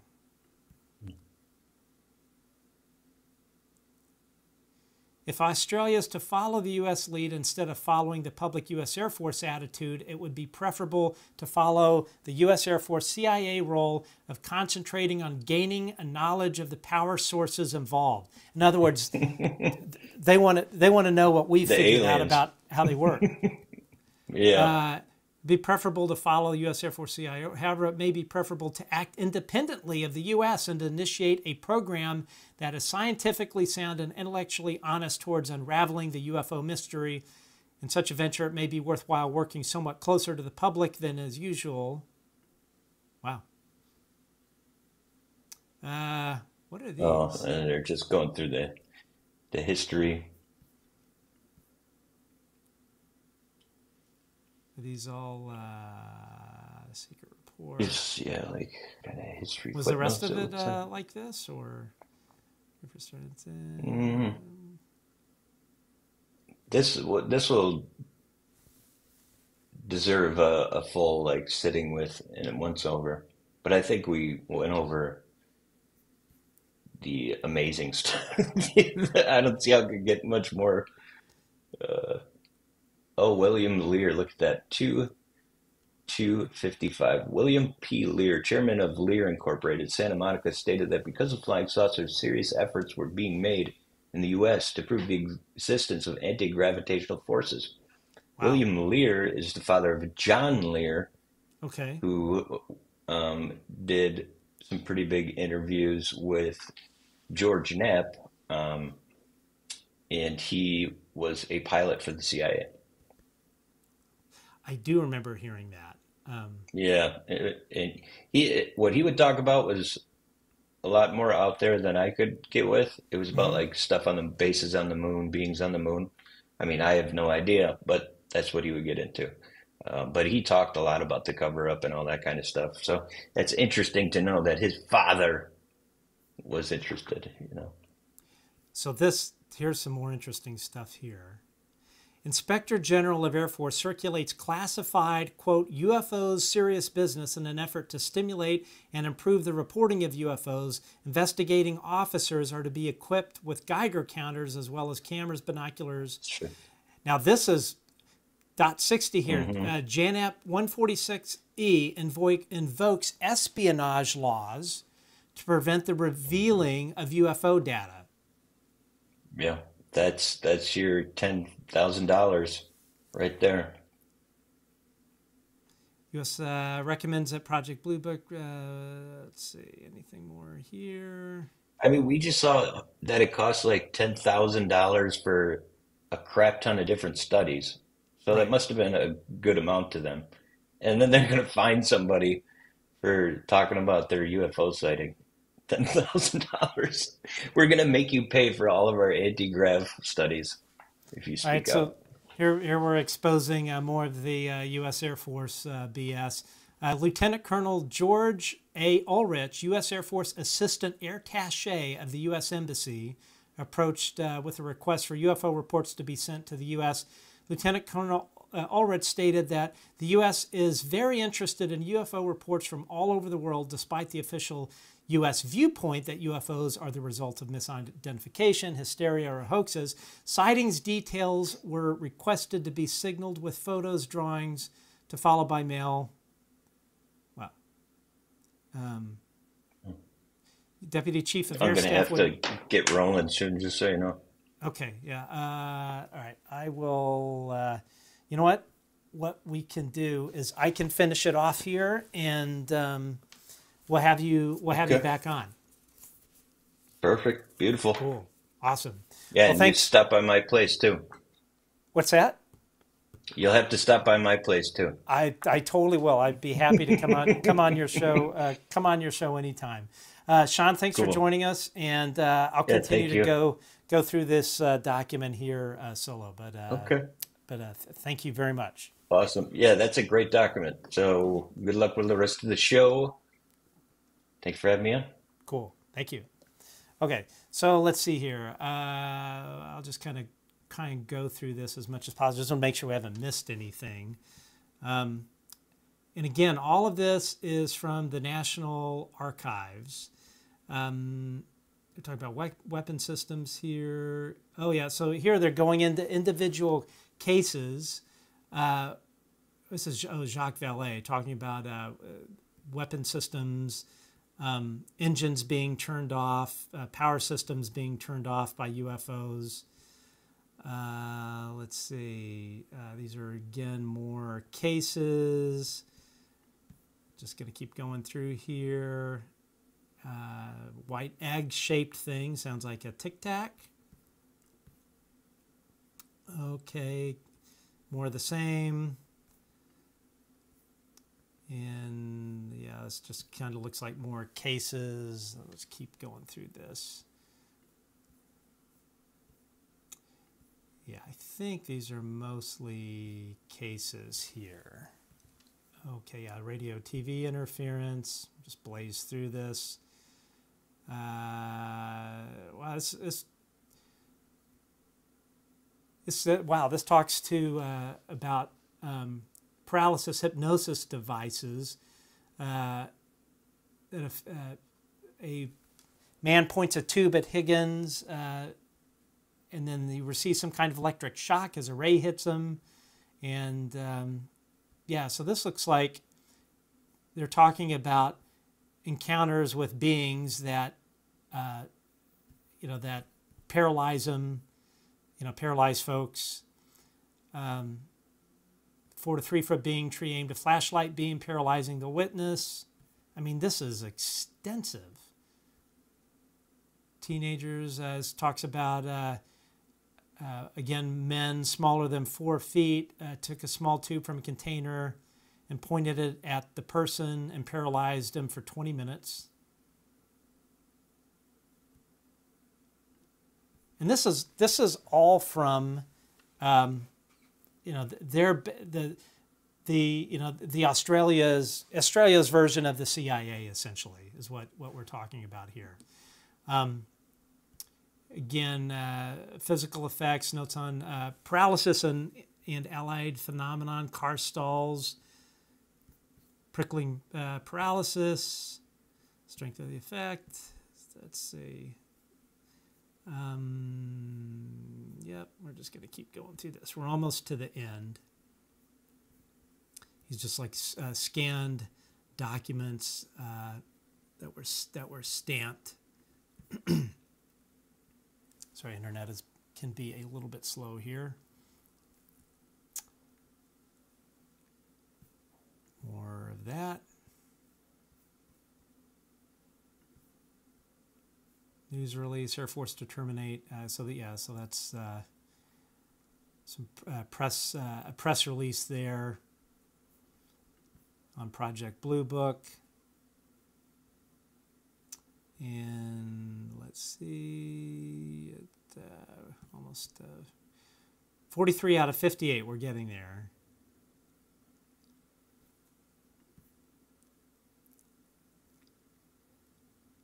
Size, more uh, sighting reports, 46. Attaches a copy of a report by a, a captain, 48. Okay.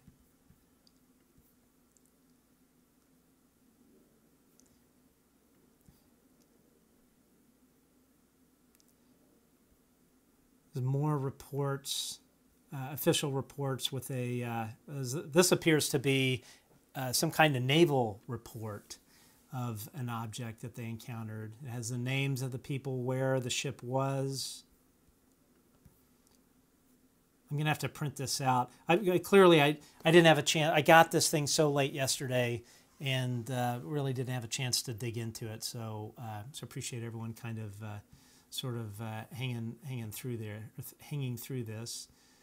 Uh, more memos. We're almost to the end here. Ported sighting of falling object. Ported sighting of falling object. Yeah, so these appear to be just kind of uh, official reports. Copy memorandum. If you're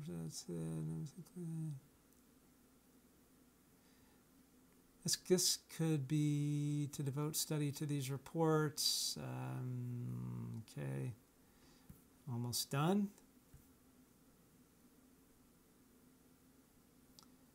Let's see, this is kind of again talking about report.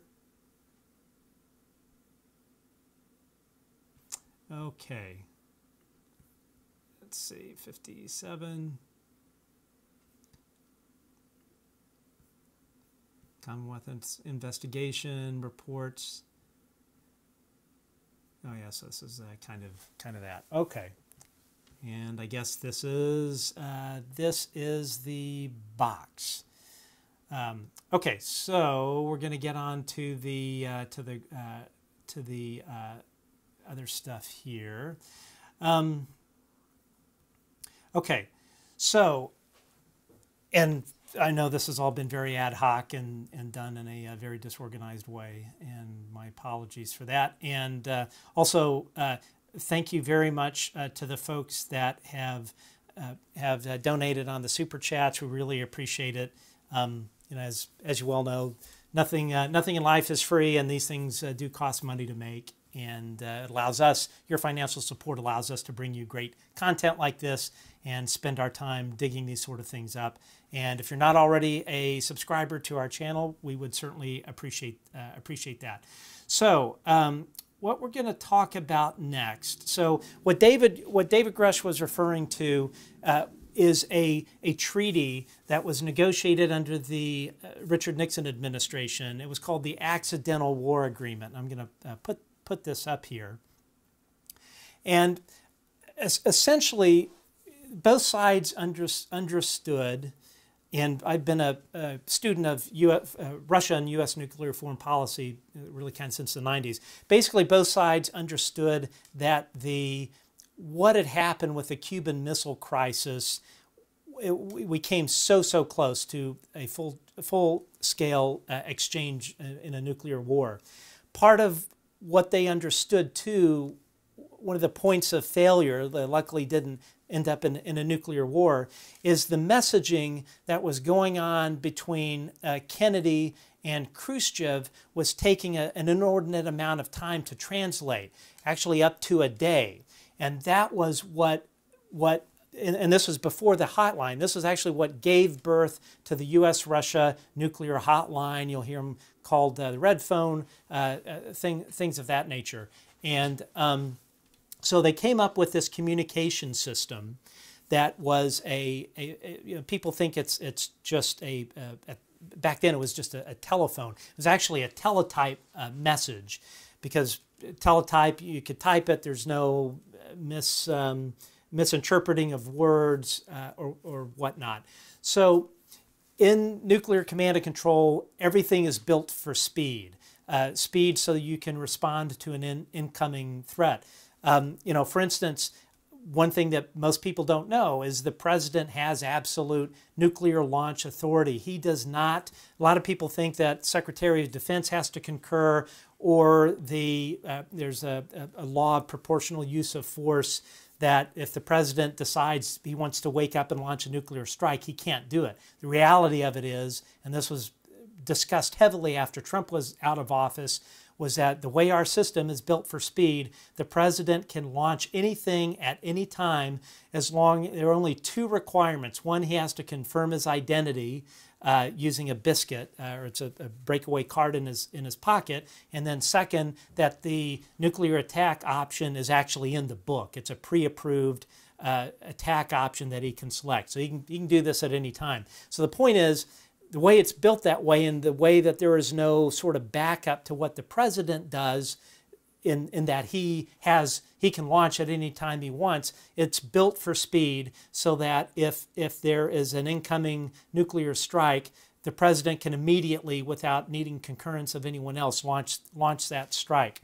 So with the with the with the the, um, the the the hotline system, it's built with the same thing in mind. Communications has to be has to be fast. So one of the things that they realized uh, the Nixon administration began to realize, and I think this may have actually preceded this a little bit, a little bit before, is that um, anything can trigger a nuclear war that is misinterpreted. So, so much in much in the same way that um, that you know that that this whole system is is built built for speed. Um, that is part of the problem. So when you when you have everything on a hair trigger alert that can literally uh, uh, by a mistake trigger a nuclear confrontation that is that is indeed a um, you know that is indeed a, a, a, big problem so and i'm just kind of scrolling through here making sure uh, making sure we're still uh, still up so so when they designed this system, it was built for speed. And the part of the accidental war agreement, why it was crafted, was to ensure that um, that a mistake on either side did not cause an immediate massive exchange of nuclear weapons. So if um, let's say that we launch, or say like, which is impossible to happen, but let's let's say a rogue crew at a Minuteman ICBM silo launches a um, you know launches something. The part of the, the this messaging system can you can send a message to uh, to Russia that says a, a nuclear missile has been accidentally uh, uh, launched and we're not launching a full-scale strike. This was a rogue thing, and, and that's that's uh, where that where that comes from. So so anyway, so the so they had this agreement. Uh, United States of America uh, and Union of Soviet Socialist Republics agreement on measures to reduce the risk of outbreak of nuclear war signed in Washington September 30th 1971 and uh, essentially what it says United States and Union of Soviet Socialist Republics, uh, taking into account the devastating consequences that nuclear war would have for all mankind, mankind, and recognizing the need to exert every effort to avert the risk of outbreak of nuclear war, including measures to guard against accidental or unauthorized use of nuclear weapons. This is important here. Believing that the agreement on measures reducing the risk uh, of outbreak of nuclear war serves the interests of strengthening international peace, blah, blah, blah. So this is what they, what they, what this article or this, this nuclear treaty, what both sides uh, signed. Article 1 Each party undertakes to maintain and to improve as it deems necessary its existing organizational and technical arrangements to guard against the accidental or authorized, unauthorized use of nuclear weapon under its control. Article 2 The parties undertake to notify each other immediately in the event of an accidental, unauthorized, or any unexplained incident, important, involving a possible detonation of a nuclear weapon which could create the risk of outbreak of nuclear war. In the event of such incidents, the party whose nuclear weapon is involved will immediately make every effort to take the necessary measures to render harmless or destroy such weapon without causing damage. Now we get to the good stuff. Article 3 The parties undertake to notify each other immediately in the event of detection uh, by missile warning systems of unidentified objects or in the event of signs of interference with these systems by unidentified objects or with related communication facilities if such occurrence could create a risk of outbreak of nuclear war between countries. So the way our nuclear systems, our nuclear platforms are controlled is what's called uh, NC3, Nuclear Command and Control. That's NC3 is the acronym. And it is the, it starts at the top with the dissemination of a valid uh, nuclear uh, nuclear war or, nuclear war order from the president, and through a, a system of various communications means uh, that so in case of the president he's at the white house. Um, the guy that carries the nuclear football he works for the white house uh, military office. He comes in with the with the football opens it up. President opens this this book that has uh, various uh, attack attack plans all what are called uh, uh, it's a not plan with a number. He picks the attack option the, the White House military aide with his satellite phone calls the National Military Command Center down in the Pentagon. They uh, first thing they do is they validate that the president is the one that's on the phone. Actually, he's the one that, that has to be on the phone. They give him a, a challenge code. He opens up his biscuit, reads the challenge code, then he has his response code the, uh, the watch officer, National Military Command Center, validates that it is the president. Next thing the president do, does is he, he reads out the, the code word and the number for that particular attack option that, he, that has been recommended he, he launch. Then, through the uh, nuclear command and control system, those launch orders are disseminated to all of our nuclear forces, uh, be it air, land, or sea. So, one of the things that is a basic tenet of, of sort of nuclear warfare, one of the first signs that that you your country is going to be the recipient of a surprise nuclear attack is if your command and control system is targeted. That in and of itself is considered an act of war. So if you're Russia, the first thing you're going to do, or China, when you're going to uh, when you're going to launch a full-scale attack against the U.S., you're going to launch a small number of nuclear weapons, nuclear ICBMs, that are going to detonate in the upper atmosphere. What that does is that creates an electromagnetic pulse that degrades, uh, kind of kills everybody's electronics, but electronics that are hardened against EMP pulses typically are not going to be susceptible. But essentially, it's an electronic attack via the use of an EMP pulse from a nuclear weapon that is used to degrade your command and control system. So if you're on the American side and you're at NORAD, uh, North American Radar uh, Aerospace Defense, or um, or at uh, the other facility in Blankenheim, and you detect that your your command, your nuclear command and control, your NC3 is being degraded by some kind of interference. The other side isn't just going to do that on their own because that is in, in and of itself is going to motivate the responding country to spin everything up for an immediate response. So it's not something that they're just going to do willy nilly.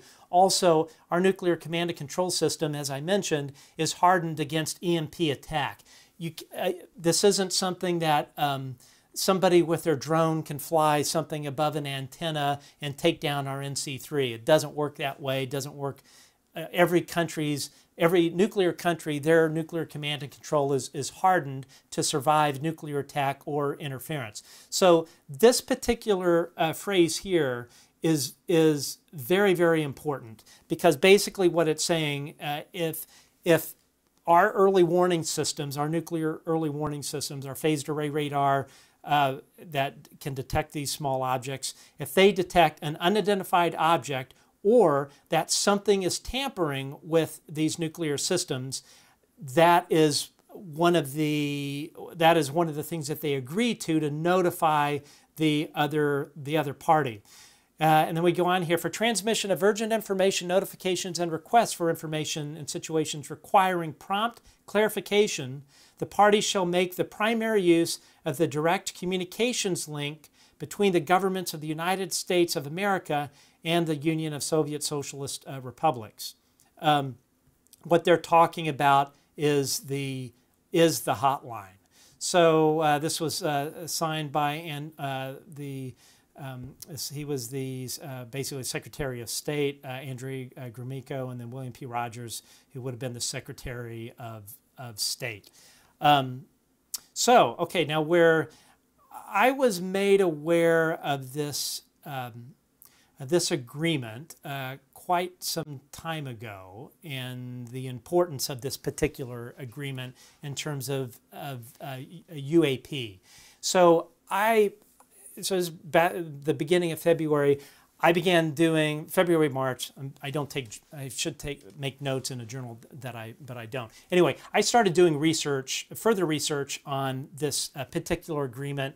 Uh, in April, I traveled to Washington D.C. and spent a considerable time at the National Archives uh, researching this particular treaty, in particular, looking for the negotiating minutes between Russia and the U.S. And uh, from what I was told in the negotiating minutes, there was considerable language about UAP triggering a nuclear war on either side, either by UAP uh, interfering with our nuclear command, con command and control systems or nuclear weapon, or, excuse me, UFOs interfering with um, uh, our our strategic nuclear weapons. We know that it's heavily documented that UAPs have tampered um, uh, retargeted and disabled our land based nuclear weapons. I have no idea if that's been the case for our sea launched uh, uh, stuff. Uh, George Knapp uh, smuggled documents out of Russia where it turned out that Russia was having the exact same thing, and we're actually having instances of nuclear of UFOs spinning up into launch mode their land-based intercontinental ballistic missiles. So this is this is clearly a, a big deal. It's also, in my opinion, one of the reasons, one of the many reasons the Air Force has continually lied to the public and and um, and and the CIA lied to the public and our lawmakers about the uh, about the about UFOs tampering with our our uh, stuff. Now, after doing so, going back to NARA, researched at NARA, uh, I found uh, this particular document that I'm about to show you was completely redacted at NARA. And, you know, so I didn't bother copying it or anything like that. Anyway, this document I just happened to discover after spending probably a couple of days uh, going through Google and looking for, for very specific keywords. I didn't need uh, I didn't need to be the FOIA king or anything like that. Uh, anybody anybody can do this uh, thing. So the document that I'm about to show you is the actual operating instructions for the uh, for the Russia uh, uh, Russia Washington nuclear hotline, which the the formal name of this hotline is called DC MoLink or DC um, uh, DC uh, Moscow, uh, DC, uh, Direct Communication Link Moscow, DCMO link.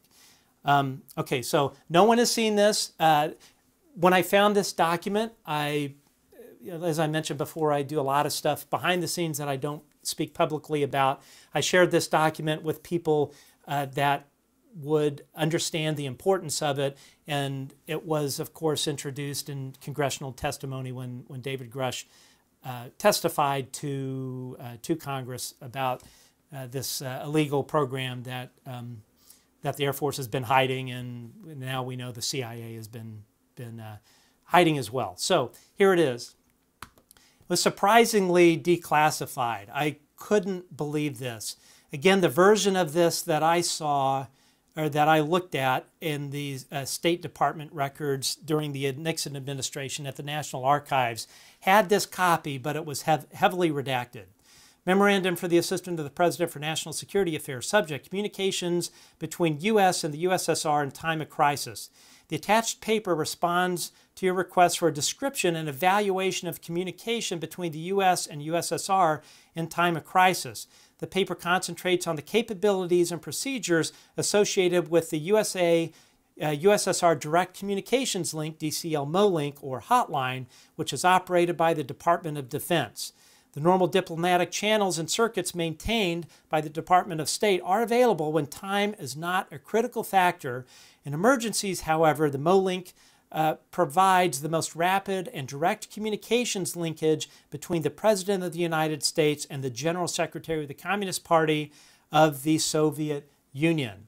Also included with this paper is a copy of September, September 30th, 1976 protocol on the use of immediate notifications in implementation, implementation of the agreement on the measures of, uh, to reduce the outbreak of nuclear war between the United States of America and the Union of Soviet Socialist Republics, September 30th, 1971.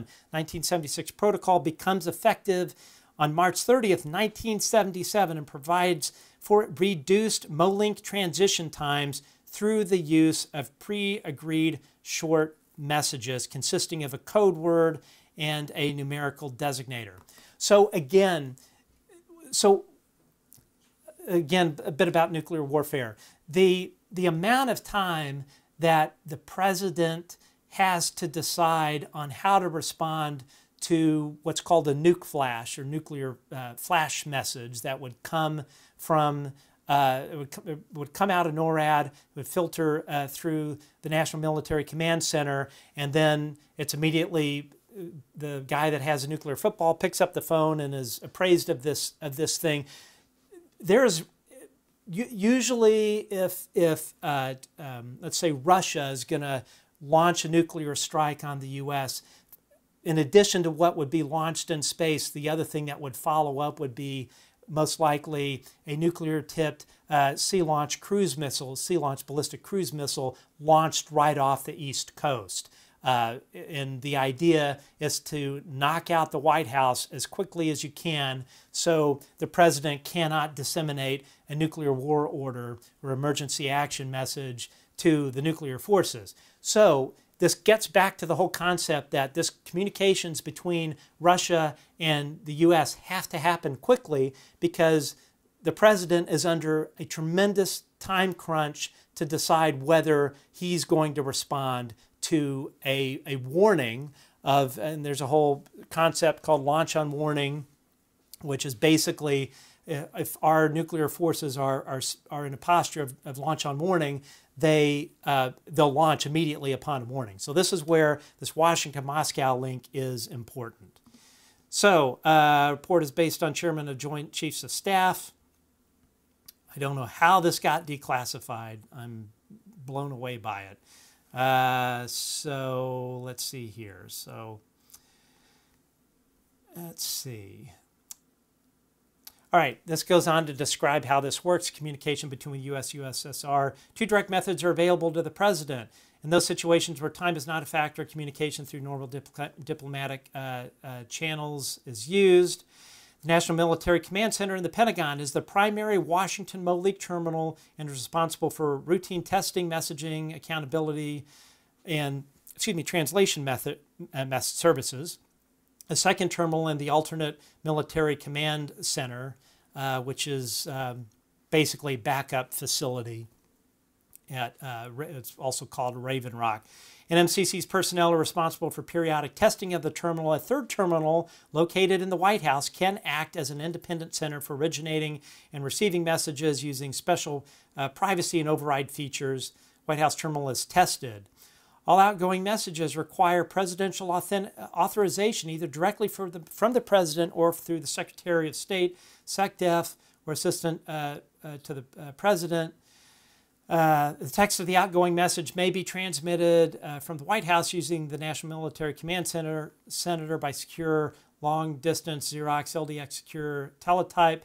Before releasing the message, the Deputy Director for Operations must contact the White House Situation Room, make sure that, um, that uh, the President is approved. This process may take as little as five minutes. Again, speed is key here.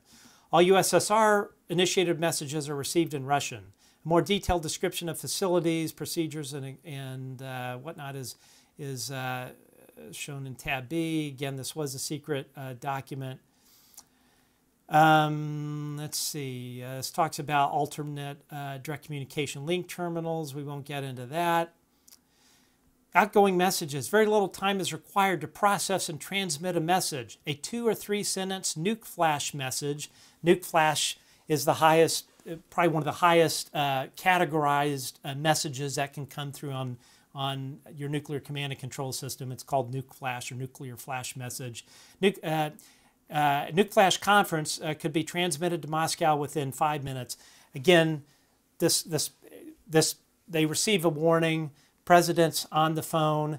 Uh, NORAD is on the phone. U.S. Stratcom is on the phone, and they they conduct uh, what is uh, you know what is called a, a, a nuke flash conference where they talk about what is happening and, and recommend to the president how they should respond. Personnel in Washington Moscow terminals work together closely on an hourly basis to maintain uh, the highest level. All right, this is how it all works. Incoming message. The, in the event of an incoming message, the Deputy Director for Operations at the National Military Command Center notifies a senior watch officer at the White House Situation Room. As, and this is the guy, the senior watch officer is the guy with the nuclear football, uh, the White House military aide. As soon as a message is transmitted, a copy is sent to the White House Situation Room. Translation time varies according to length. Previous experience. Former presidents have chosen not to release information about their uses of MOLINK except for the exchanges which have occurred during the 1967 Arab-Israeli uh, conflict. Experience has shown that a message transmitted via MOLINK will receive the immediate attention of the General Secretary of the Communist Party of the, of the Soviet Union. So this thing is, is indeed a, uh, a gets immediate reaction from the president of Russia. That's how serious this, this thing is. Okay, um, Now we're going to get into the UAP stuff. Now, one thing I would would point out, if you listen to David Grusch's testimony, he tried to gain visibility into uh, into a red line nuke flash traffic uh, that the White House has uh, has e experienced over the years. This would include traffic related nuke flash traffic using the DCL MoLink system on UAP. That's why he's trying to get at it. That's probably why I couldn't find any further documentation at the at NARA National Archives. Um, but if you're a lawmaker, and this is why David Grusch said this to the lawmakers, you need to subpoena, you need to look for the redacted records, nuke flash traffic going in and out of the White House over the past decades. You're going to find stuff there. Okay. So this gets into the into the nitty gritty of it, and this this gets into the uh, what's agreed upon in the in this operating uh, operating do, uh, document. The parties uh, shall be guided by the following agreed provisions regarding emergency situations, corresponding short messages to be transmitted, and pre-agreed texts and full message. Situation one. Uh, uh, accidental or unauthorized or unexplained incident involving a possible detonation of nuclear weapons, which could create the risk of outbreak of nuclear war between Russia and the USSR. Short message to be transmitted. Atom ATOM 111. And the text of the full message, this is what was pre-agreed upon in this, um, in this document, uh, this treaty that was signed, this pre, the pre-agreed upon message with the pre-agreed upon code word and numerical, uh, numerical designation of 111 uh, the text of that, an accidental, unauthorized, or un other unexplained incident involving a possible detonation of nuclear weapon which could create the risk of outbreak of nuclear war has occurred. This message constitutes notification in accordance with the agreement on measures to reduce the risk of outbreak of nuclear war between the United States of America and the Union of Soviet Socialist Republics, September 30th, 1971. Details to follow. So the idea here is when uh, when they're picking up the hotline and they are transmitting this pre pre-approved message package with a with a with a, a numerical designator and a code word the idea it's not telling the whole story. The idea is to tell russia or russia tells us because they have the exact same language that this is what has occurred information to follow. Okay uh, now, this is where we get into what I was told is UAP. Situation two detection by missile warning systems of unidentified objects of such occurrence could create a risk of outbreak of nuclear war between the USAA or USA and the USSR. Short message to be transmitted Atom 222, text to full message. Our missile warning systems have detected unidentified objects and this occurrence could create a risk of outbreak of nuclear war. This message constitutes notification in accordance of the agreement on the measures to reduce uh, the risk of outbreak of nuclear war. Now, it could be it could be argued that uh, this is a catch-all, but uh, from from uh, what what was uh, basically expressed to me was that this is uh, primarily a, a, UAP thing.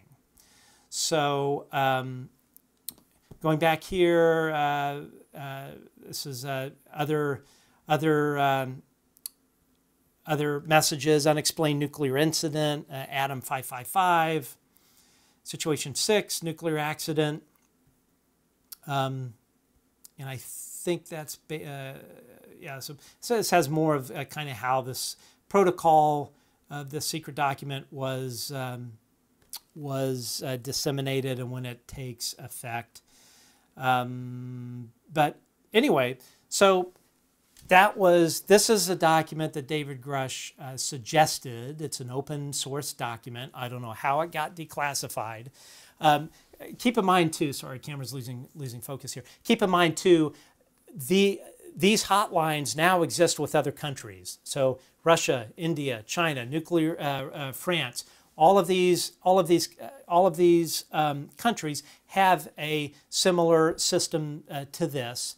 Uh, from what I understand, uh, the the uh, direct communication link terminals and the protocols of code of coded messages have been greatly, greatly expanded. Again, this one didn't come into play until 1977, so that I believe would have been uh, would have been uh, Jimmy Carter's uh, Jimmy Carter's uh, ad- administration.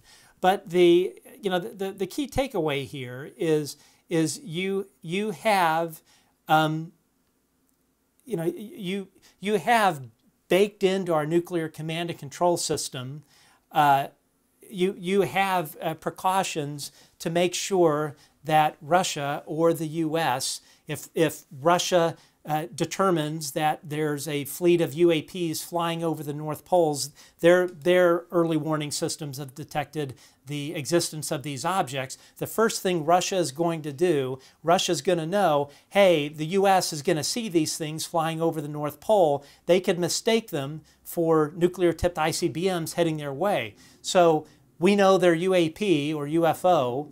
Uh, so we're going to immediately transmit this message using the direct communication uh, link, Moscow link. We're going to we're going to send this code this code word, this message to the U.S. saying that we, Russia, have detected unidentified objects, and we basically are wanting you to know these are not from us. Uh, this is not a nuclear strike. This is not a preemptive nuclear strike. These are unidentified objects that are not related to us, and we're letting you know that we've detected them so you don't misinterpret these objects on your radar as being a, a, uh, a first nuclear strike. So that's, that's pretty, pretty significant. So we're going to wrap it up here. I know we've been on a long time. Apologies for the. Um, for the for the technical issues. It takes a while for YouTube to process this video out, so I can go back and and and remove that. But the, if there are any lawmakers, we know that we know that congressional staff uh, staff watch our show, and what I would say say to all of you guys is this is stuff that you need to know about. This is stuff that the United States Air Force, the CIA these are all the things that they've been hiding from our lawmakers. These are all the things that they're hiding from you that we elect to make sound decisions about our national security. When the CIA is running illegal programs through the Office of Global Access and stuff going on in JSOC behind your back and not briefing you on it, much of this illegal, we, how can you operate on behalf of Americans and make the right decisions for our country if they are hiding this stu stuff from you? I think what we've learned tonight, especially from looking at this intelligence document from Australia, is the United States Air Force, the Pentagon, the Central Intelligence Agency has been taking this stuff no shit seriously for a very long time, and they've been lying to the American public about it, and they've been lying to Congress about it, and they've been lying to the executive branch about it. Taking this stuff, these classified programs, spreading them uh, across different nodes of government, so that a senator that only sees the Senate intel, uh, the Senate uh, DoD, uh, Senate DoD side, but not the Senate intel side, can't has no idea what's going on the intelligence side, or a senator that sits on Senate Intel but doesn't sit on SASC and can't see what the Department of Defense is doing, they can't see the whole sight picture because the CIA and the Air Force and the Pentagon writ large has gone out of their way to hide this from you so you don't know about it. A democracy cannot function at all when you have a group of 50 senior, uh, senior executive service level uh, deputy, uh, uh deputy heads, such as uh, Deputy Secretary of Defense Kathleen Hicks, categorizing special access programs as waived so that you, Congress, can't find out exactly what is going on. It's un American and it is not how our country is supposed to, uh, supposed to be run. So, going back to this whole nuclear issue, we nuclear weapons are our crown jewel. We have the nuclear triad land based, sea based, air, uh, air, air-based nuclear weapons. Uh, when the idea of the nuclear triad, the way that it is structured, is if, if one part of our triad is knocked out, let's say um, our, our uh, uh, B 52 bombers with uh, nuclear tipped uh, cruise missiles are all knocked out of the sky, you have the other two legs of the nuclear triad to provide uh, a, a, a counterforce, counterattack, or nuclear deterrent. When you have UAPs disabling or, or tampering and retargeting one third of our nuclear triad or land-based strategic nuclear weapons. And we know there has been there have been plenty of documented cases of UFOs disabling uh, these systems. And and these Air Force officers who had to deal with this stuff forced to sign uh, from the Air Force Office of Special Investigations uh, national non-disclosure agreements where they can't talk about this stuff even to their congressmen. I mean, that is it's it's wrong, it's un-American, and people in Congress, you need to ask questions. You need to subpoena all of the interview records of nuclear launch control officers and nuclear above ground security forces, you need to subpoena the records from the Air Force Office of Special Investigations where they have debriefed all of these people, and you need to look at the non disclosure agreements that they forced them to sign. Where they can't talk about this stuff. Now, I believe, hopefully, now with the good stuff that Senator Gillibrand uh, has has done, that that that is uh, that's not going to be an issue. But at the end of the day, when you have our nuclear command control system built, uh, messaging built in to make sure that UAP do not accidentally trigger a nuclear war, that tells you right there that this UAP UFO issue is a national security issue. It's a national security issue that, frankly, you cannot trust the Pentagon or the Central Intelligence Agency to do the right thing for the country and come clean with the lawmakers that they work for. Reminders CIA, Air Force, the Pentagon, they work for us, it's not the other way around. And when, they're, when they are lying to, um, to our lawmakers and to uh, the elected officials and viewing them in a a gross perverted way that they're just temporary employees and they do not need to be briefed on this stuff. It you know it makes me damn mad.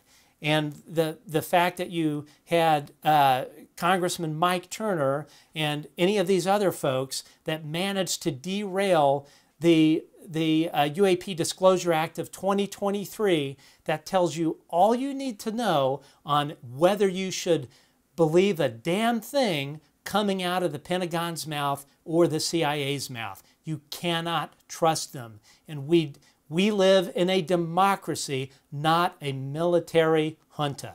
So, anyway, enough of my rant. So, I'm going to take a few questions here. Um, I know we've gone really long, but I thought this was a, uh, a really important. Uh, uh, uh, ses uh, session. Again, thank you everyone for the uh, for the uh, super chats, especially in, in, light of the the train wreck of, of how this whole thing uh, started.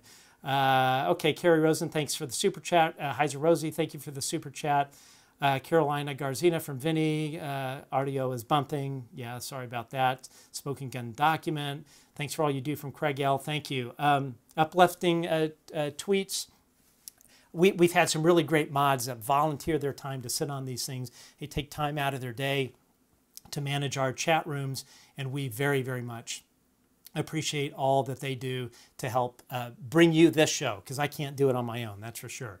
Uh, Catgirl1, is there a link to the documents online? I will post the link later. To be honest, I have to go and, and dig up the link.